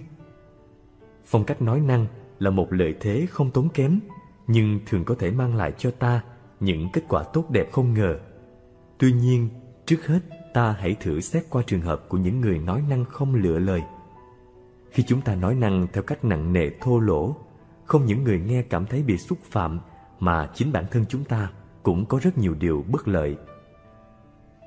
Trước hết, tâm trạng của ta trở nên nóng nảy bực dọc theo với ngôn ngữ mà ta dùng. Điều này làm cho ta mất đi một phần sự suy xét, phán đoán sáng suốt. Thêm vào đó, cách nói năng nặng nề sẽ tập nhiễm thành một thói quen và nó gieo cấy vào tâm hồn ta những hạt giống nóng nảy bực dọc làm cho tính tình ta dần dần thay đổi theo hướng xấu đi. Đối với người nghe, thật không dễ chịu chút nào khi phải chịu đựng những lời nặng nề, thô lỗ. Điều này có thể làm thay đổi cách nhìn nhận vấn đề theo hướng xấu hơn. Ngược lại, khi ta chú ý lựa chọn cách nói năng hòa nhã, trước hết ta giữ được sự thanh thản sáng suốt của chính mình. Thói quen nói năng hòa nhã là một trong những phương thức hữu hiệu để tu dưỡng tính tình. Như vậy chúng ta vừa tránh làm thương tổn người khác, mà đồng thời cũng có lợi cho chính bản thân mình. Khi vấn đề được trình bày theo cách ôn hòa, người nghe sẽ dễ chấp nhận hơn, vì điều đó tỏ ra là họ đang được tôn trọng. Ngay cả khi có sự bất đồng, chắc chắn chúng ta cũng sẽ nhận được một phản ứng êm dịu hơn. Nói năng hòa nhã cũng là cách rất tốt để ta luôn tỉnh thức trong giây phút hiện tại. Khi ta nói ta biết mình đang muốn nói gì và nên nói ra như thế nào. Bằng cách đó, chúng ta ý thức đầy đủ về bối cảnh giao tiếp hiện tại mà không bị chi phối bởi bất cứ định kiến hay sự lơ đễnh nào. Nói năng theo cách nặng nề thô lỗ thường là do thói quen tập nhiễm lâu ngày. Nói năng hòa nhã cũng là một thói quen ngược lại mà ta hoàn toàn có thể tạo ra được. Để có được hạnh phúc trong cuộc sống chúng ta không thể không quan tâm đến việc lựa lời mà nói cho vừa lòng nhau. Sống đơn giản. Sống đơn giản là một trong những phương thức giúp bạn có được hạnh phúc trong cuộc sống mà không đòi hỏi phải tốn kém nhiều. Nhưng ngược lại, nó đòi hỏi một sự hiểu biết và quyết tâm kiên trì thực hiện. Bởi vì thay đổi cách sống là một trong những điều khó làm nhất đối với hầu hết chúng ta sống đơn giản hoàn toàn không có nghĩa là gạt bỏ những nhu cầu thiết yếu trong cuộc sống. Chỉ có điều là chúng ta thường có quá nhiều nhu cầu để đòi hỏi. Đến nỗi ta khó lòng phân biệt được đâu là những nhu cầu tối thiểu và thiết yếu cho cuộc sống. Hơn thế nữa, chúng ta thường xác định những gì mình cần dựa vào nhận thức của những người chung quanh, thay vì là theo phán đoán của chính mình đây là một điều nghe có vẻ như vô lý, nhưng tiếc thay, đó lại là sự thật đối với rất nhiều người. Nếu bạn là ngoại lệ, đó là một điều rất tốt cho chính bản thân bạn. Nếu chúng ta không quay nhìn lại để tự giới hạn những mong muốn của mình, những mong muốn ấy sẽ không bao giờ tự nó có giới hạn. Vấn đề ở đây là bạn phải giới hạn những nhu cầu của mình ở mức độ nào. Điều đó có thể là khác nhau ở mỗi người với tôi, một máy điện toán cá nhân là vô cùng thiết yếu. Nhưng với một người khác, có thể đó là sự xa xỉ. Bạn cần phải tự xác định những nhu cầu nào là thiết yếu đối với chính mình, chứ không phải là ai khác. Có một nguyên tắc tương đối đơn giản để bạn làm được điều đó. Khi việc loại bỏ một nhu cầu làm cho bạn cảm thấy dễ chịu hơn là theo đuổi và đạt được nó, bạn có thể yên tâm gạt bỏ nó ra khỏi danh sách phấn đấu của mình chẳng hạn như, bạn nghĩ rằng mình cần gắn một máy điều hòa không khí trong nhà vì có những ngày nóng bức, bạn cảm thấy dường như không sao chịu nổi. Tất nhiên, điều trước tiên là bạn phải ước tính ngân sách cho việc này. Thêm vào đó, bạn cũng phải tính đến hóa đơn tiền điện tăng giọt hàng tháng do việc sử dụng máy điều hòa không khí. Nếu thu nhập của bạn là vào mức trung bình hoặc không cao lắm những điều này hẳn sẽ tạo ra một áp lực khá căng thẳng lên sự cân đối thu chi của bạn. Ngược lại, về phía bên kia của vấn đề là sự thoải mái có được sau khi gắn máy điều hòa không khí. Điều này lại tùy thuộc vào thời gian bạn có mặt ở nhà và cũng dùng đến máy, kèm theo với mức độ nóng gắt của thời tiết đã tác động đến bạn như thế nào. Bây giờ, bạn thử nghĩ đến việc loại bỏ kế hoạch gắn máy điều hòa không khí nếu sự dễ chịu mang lại do quyết định này, vì loại trừ được sự căng thẳng về tài chính, có thể lớn hơn là sự dễ chịu mà bạn có được sau khi gắn máy điều hòa không khí. Điều đó có nghĩa là bạn có thể yên tâm gạt bỏ nhu cầu này. Bạn có thể xem xét vấn đề một cách tương tự trước khi mua sắm thêm đồ đạc trong nhà, quyết định một kỳ nghỉ ở xa hay tu sửa nhà cửa vào dịp năm mới. Mỗi một vấn đề đều có thể là thiết yếu hoặc không thiết yếu. Điều đó phụ thuộc vào hoàn cảnh cụ thể và khả năng tài chính của chính bạn. Chỉ cần chúng ta đặt thành vấn đề quan tâm xem xét, có rất nhiều trong số những chi tiêu thông thường của chúng ta có thể được cắt giảm mà không mang lại bất cứ một sự thay đổi khó chịu nào cho cuộc sống. Và điều đó cũng có nghĩa là ta sẽ được dễ chịu hơn do sự giảm nhẹ áp lực tài chính thường thì chúng ta không chọn lối sống đơn giản chỉ vì những người quanh ta không chọn sống như thế. Một áo sơ mi tuy cũ, nhưng có thể vẫn còn dùng rất tốt, sẽ bị thay thế, không phải vì chủ nhân của nó thực sự muốn thay thế, mà chỉ vì chung quanh anh ta, mọi người đều đã mặc những chiếc áo mới theo một thời trang mới. Chúng ta cần thay đổi quan niệm ấy. Chúng ta cần điều gì? Đó là cho chính bản thân ta, gia đình ta không cần thiết, lúc nào cũng phải quan tâm đến việc người khác nghĩ như thế nào về điều đó.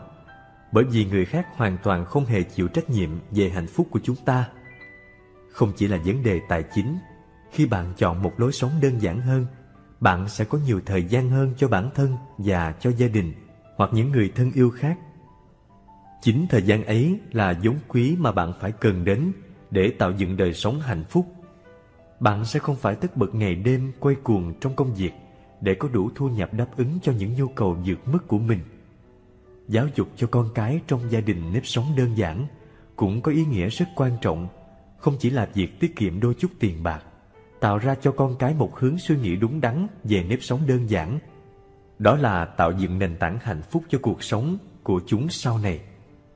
Bạn cần giáo dục điều đó bằng hành động cụ thể, không chỉ bằng lời nói. Bạn không nên cho phép con cái dứt bỏ những món đồ dùng cũ chỉ vì đua đòi theo bạn bè.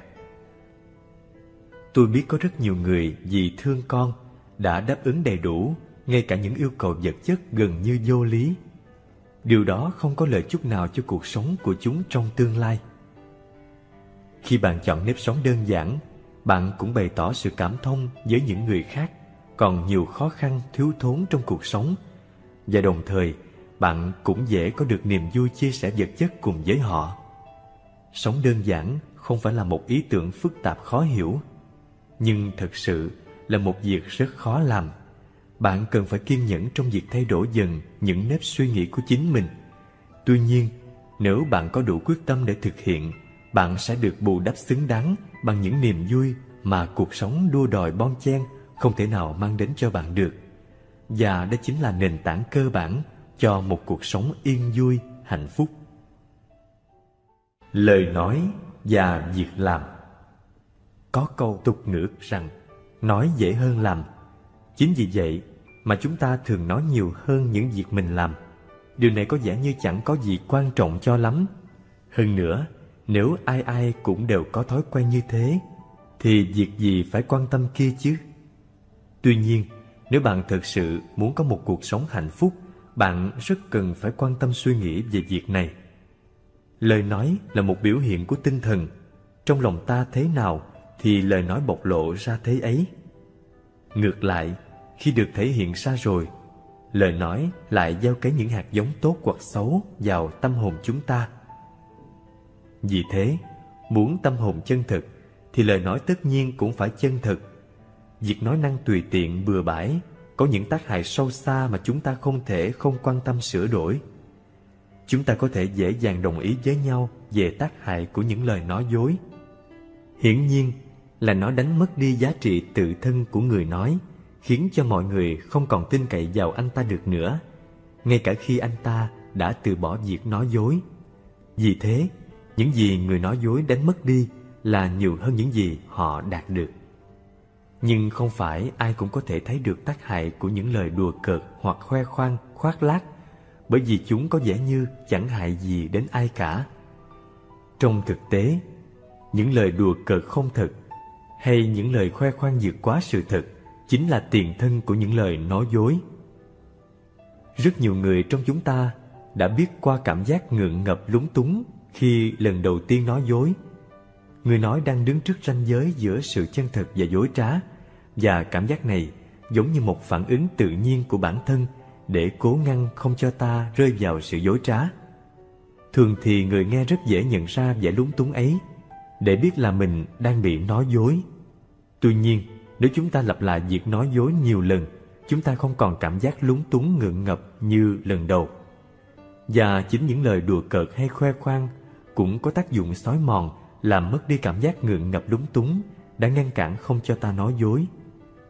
Nếu bạn thường xuyên đùa cợt khoe khoang quá trớn bạn sẽ rất dễ dàng chuyển sang nói dối mà không có chút gì ngần ngại. Mặt khác, bản thân người nói không phải bao giờ cũng ý thức rõ được mình đang nói những lời không thật. Nếu ta nhận được sự thán phục hoặc tán đồng từ người khác, dần dần ta sẽ có cảm giác như mình đang nói thật. Nhưng thật ra, ta đang lừa dối chính bản thân mình. Và điều này về lâu dài sẽ khiến cho ta mất khả năng phân biệt rạch ròi giữa sự chân thật và dối trá một khuynh hướng rất thông thường là chúng ta luôn nói nhiều hơn mức cần thiết. Một trong những lý do dẫn đến điều này cũng là vì nói dễ hơn làm. Đôi khi chúng ta tập thành thói quen nói rất nhiều mà không quan tâm đúng mức đến những gì mình nói ra. Sự làm phát lời nói này luôn được những người chung quanh ta cảm nhận được và phản ứng lại bằng cách đánh giá thấp lời nói của ta. Điều này cũng có nghĩa là chỉ cần ta bớt nói đi, lời nói của ta sẽ tự nhiên có giá trị cao hơn. Nhưng vấn đề cũng không đơn giản chỉ có thế. Việc nói năng tùy tiện bừa bãi còn làm ta đánh mất đi năng lực suy nghĩ chín chắn đối với từng vấn đề. Thay vì tập trung sự chú ý sáng suốt để tìm ra giải pháp tốt nhất, ta dễ dàng hài lòng với bất cứ phát biểu nào vừa chợt nghĩ ra được. Biết hạn chế lời nói một cách thích hợp, chúng ta còn tiết giảm được một năng lượng đáng kể cần thiết cho cơ thể. Cũng có thể bạn có phần nào hoài nghi về việc nói nhiều có ảnh hưởng đến sức khỏe, nhưng đó là sự thật. Người xưa cũng đã nhận biết được điều này nên có nói khẩu khai thần khí tán, miệng mở ra là thần khí phải hao tổn. Tất nhiên, nói như vậy hoàn toàn không có nghĩa là chúng ta phải trở nên lầm lì ít nói. Có điều là chỉ nên nói những gì ta thấy cần thiết mà thôi. Khi chúng ta biết quan tâm hạn chế những lời nói không cần thiết, chúng ta sẽ tiến dần đến chỗ làm được tất cả những gì mình nói. Để cho lời nói đi đôi với việc làm không phải là chuyện dễ dàng. Nhưng nếu ta chỉ nói ra những điều đã cân nhắc thận trọng, thì điều này hoàn toàn có thể thực hiện được. Khi nói ra với sự ý thức đầy đủ là mình sẽ thực hiện lời nói đó, chính là chúng ta đã biết sống tỉnh thức trong hiện tại mà không buông bỏ những giây phút sống của mình vào sự lơ đễnh, lãng quên. Việc giữ cho lời nói đi đôi với việc làm sẽ hoàn thiện nhân cách của bạn rất đáng kể. Và điều này có thể dễ dàng nhận ra được qua cung cách mà những người chung quanh sẽ đáp lại đối với bạn. Bạn sẽ không còn mấy khi phải nghe người khác than phiền về chuyện nói dễ hơn làm hạnh phúc là điều có thực. Chúng ta đã cùng nhau đi qua một chặng dài trên con đường hướng đến hạnh phúc chân thực. Tôi không biết chắc là bạn có hoàn toàn đồng ý với những gì đã được trình bày hay không. Nhưng chỉ hy vọng một điều, là bạn nhận ra quan điểm về hạnh phúc chân thực nêu lên trong cuốn sách này. Hạnh phúc chân thực là sự yên vui thanh thản mà mỗi chúng ta có thể đạt đến bất chấp những khó khăn hay nghịch cảnh bởi vì có quá nhiều những khó khăn và nghịch cảnh trong cuộc sống này, nên chúng ta không thể để cho chúng ngăn chặn hoặc cướp mất đi niềm vui sống của ta. Bằng không, ta sẽ chẳng bao giờ được yên vui cả. Như vậy, hạnh phúc chân thực không thể phụ thuộc vào những gì chúng ta có được, mà nó hoàn toàn đạt đến bằng vào cách sống của chúng ta. Có thể chúng ta còn nghèo khó hoặc rất giàu sang hoặc gặp nhiều may mắn hoặc có lắm rủi ro. Nhưng nếu chúng ta có một nhận thức đúng về cuộc sống và biết sống hết lòng, chúng ta đều có thể đạt đến cuộc sống yên vui, hạnh phúc ngay trong hoàn cảnh của chính mình. Một khi bạn buông bỏ những quan điểm sai lầm, bạn sẽ dễ dàng nhận ra được rằng hạnh phúc là điều có thực ở ngay trong tầm tay của chúng ta. Ngay tại đây và trong giây phút này, trong từng hơi thở biểu hiện sự tồn tại của ta trong cuộc sống nhiệm màu này. Mong sao những gì bạn đọc được trong cuốn sách này sẽ không góp thêm phần vào gánh nặng tri thức của bản thân. Bởi người viết không hề có dụng ý đó. Những điều được viết ra ở đây hoàn toàn nhằm vào mục đích thực hành. Và tôi tin chắc là bạn chỉ có thể thực sự cảm nhận được hết khi áp dụng chúng vào cuộc sống. Chúng ta gắn bó với cuộc sống này thông qua từng hơi thở đôi khi chúng ta không thực sự tiếp xúc được với cuộc sống, bởi vì chúng ta thường lãng quên, không chú ý đến hơi thở của chính mình. Không biết có hơi thở, tức là không biết có cuộc sống. Cuộc sống sẽ không là gì cả nếu không là hiện tại mà ta đang cảm nhận. Vì vậy, chúng ta không thể tiếp xúc với cuộc sống nếu chúng ta lãng quên hơi thở trong hiện tại. Có thể bạn hoài nghi điều đó, nhưng bạn không thể không nhận ra điều này khi không tỉnh thức trong hiện tại, bạn sẽ ngay lập tức bị cuốn hút về giới quá khứ hoặc tương lai. Và thật đáng buồn là chẳng bao giờ có thể có được hạnh phúc trong quá khứ hoặc tương lai. Vì vậy, trước khi chia tay, tôi mời bạn hãy cùng tôi thử đến với cuộc sống qua chừng vài mươi hơi thở. Hoặc có thể nhiều hơn nữa, nếu sau đó bạn cảm thấy có sự thích thú. Trước tiên, xin mời bạn hãy mỉm cười bạn không cần phải nêu ra một lý do nào đó cho việc mỉm cười. Chỉ một việc bạn đang tồn tại và đang đến cùng cuộc sống. Như thế là đã quá đủ để mỉm cười. Bây giờ, mời bạn hãy ngồi xuống, thật thoải mái. Bạn đang ở trong phòng khách ư? Cũng tốt. Bạn đang đi dạo ngoài giường ư? Càng tốt hơn. Bạn cũng có thể là đang ở bất cứ đâu. Thậm chí, bạn đang đọc những dòng này trên xe buýt không hề gì. Chỉ cần bạn hãy chuẩn bị cho mình một tư thế thật thoải mái trong điều kiện hiện có. Và giờ thì xin bạn hãy buông bỏ đi bao nhiêu băn khoăn lo lắng của những ngày qua, toàn tính dự định của hôm nay. Dành trọn vẹn tâm trí cho giây phút hiện tại này, bạn bắt đầu thở vào. Khi hơi thở khoan thai đi vào, bạn không cần nghĩ đến bất cứ chuyện gì khác, chỉ biết là bạn đang thở vào khi thở ra, bạn cũng không nghĩ đến chuyện gì khác, chỉ biết là bạn đang thở ra. Thở vào thở ra, bạn luôn tỉnh táo nhận biết trong từng hơi thở và không để cho bất cứ suy nghĩ nào khác xen vào quấy rối. Hơi thở này là cuộc sống. Tôi đang tiếp xúc cùng cuộc sống và tôi không cần biết đến chuyện gì khác nữa.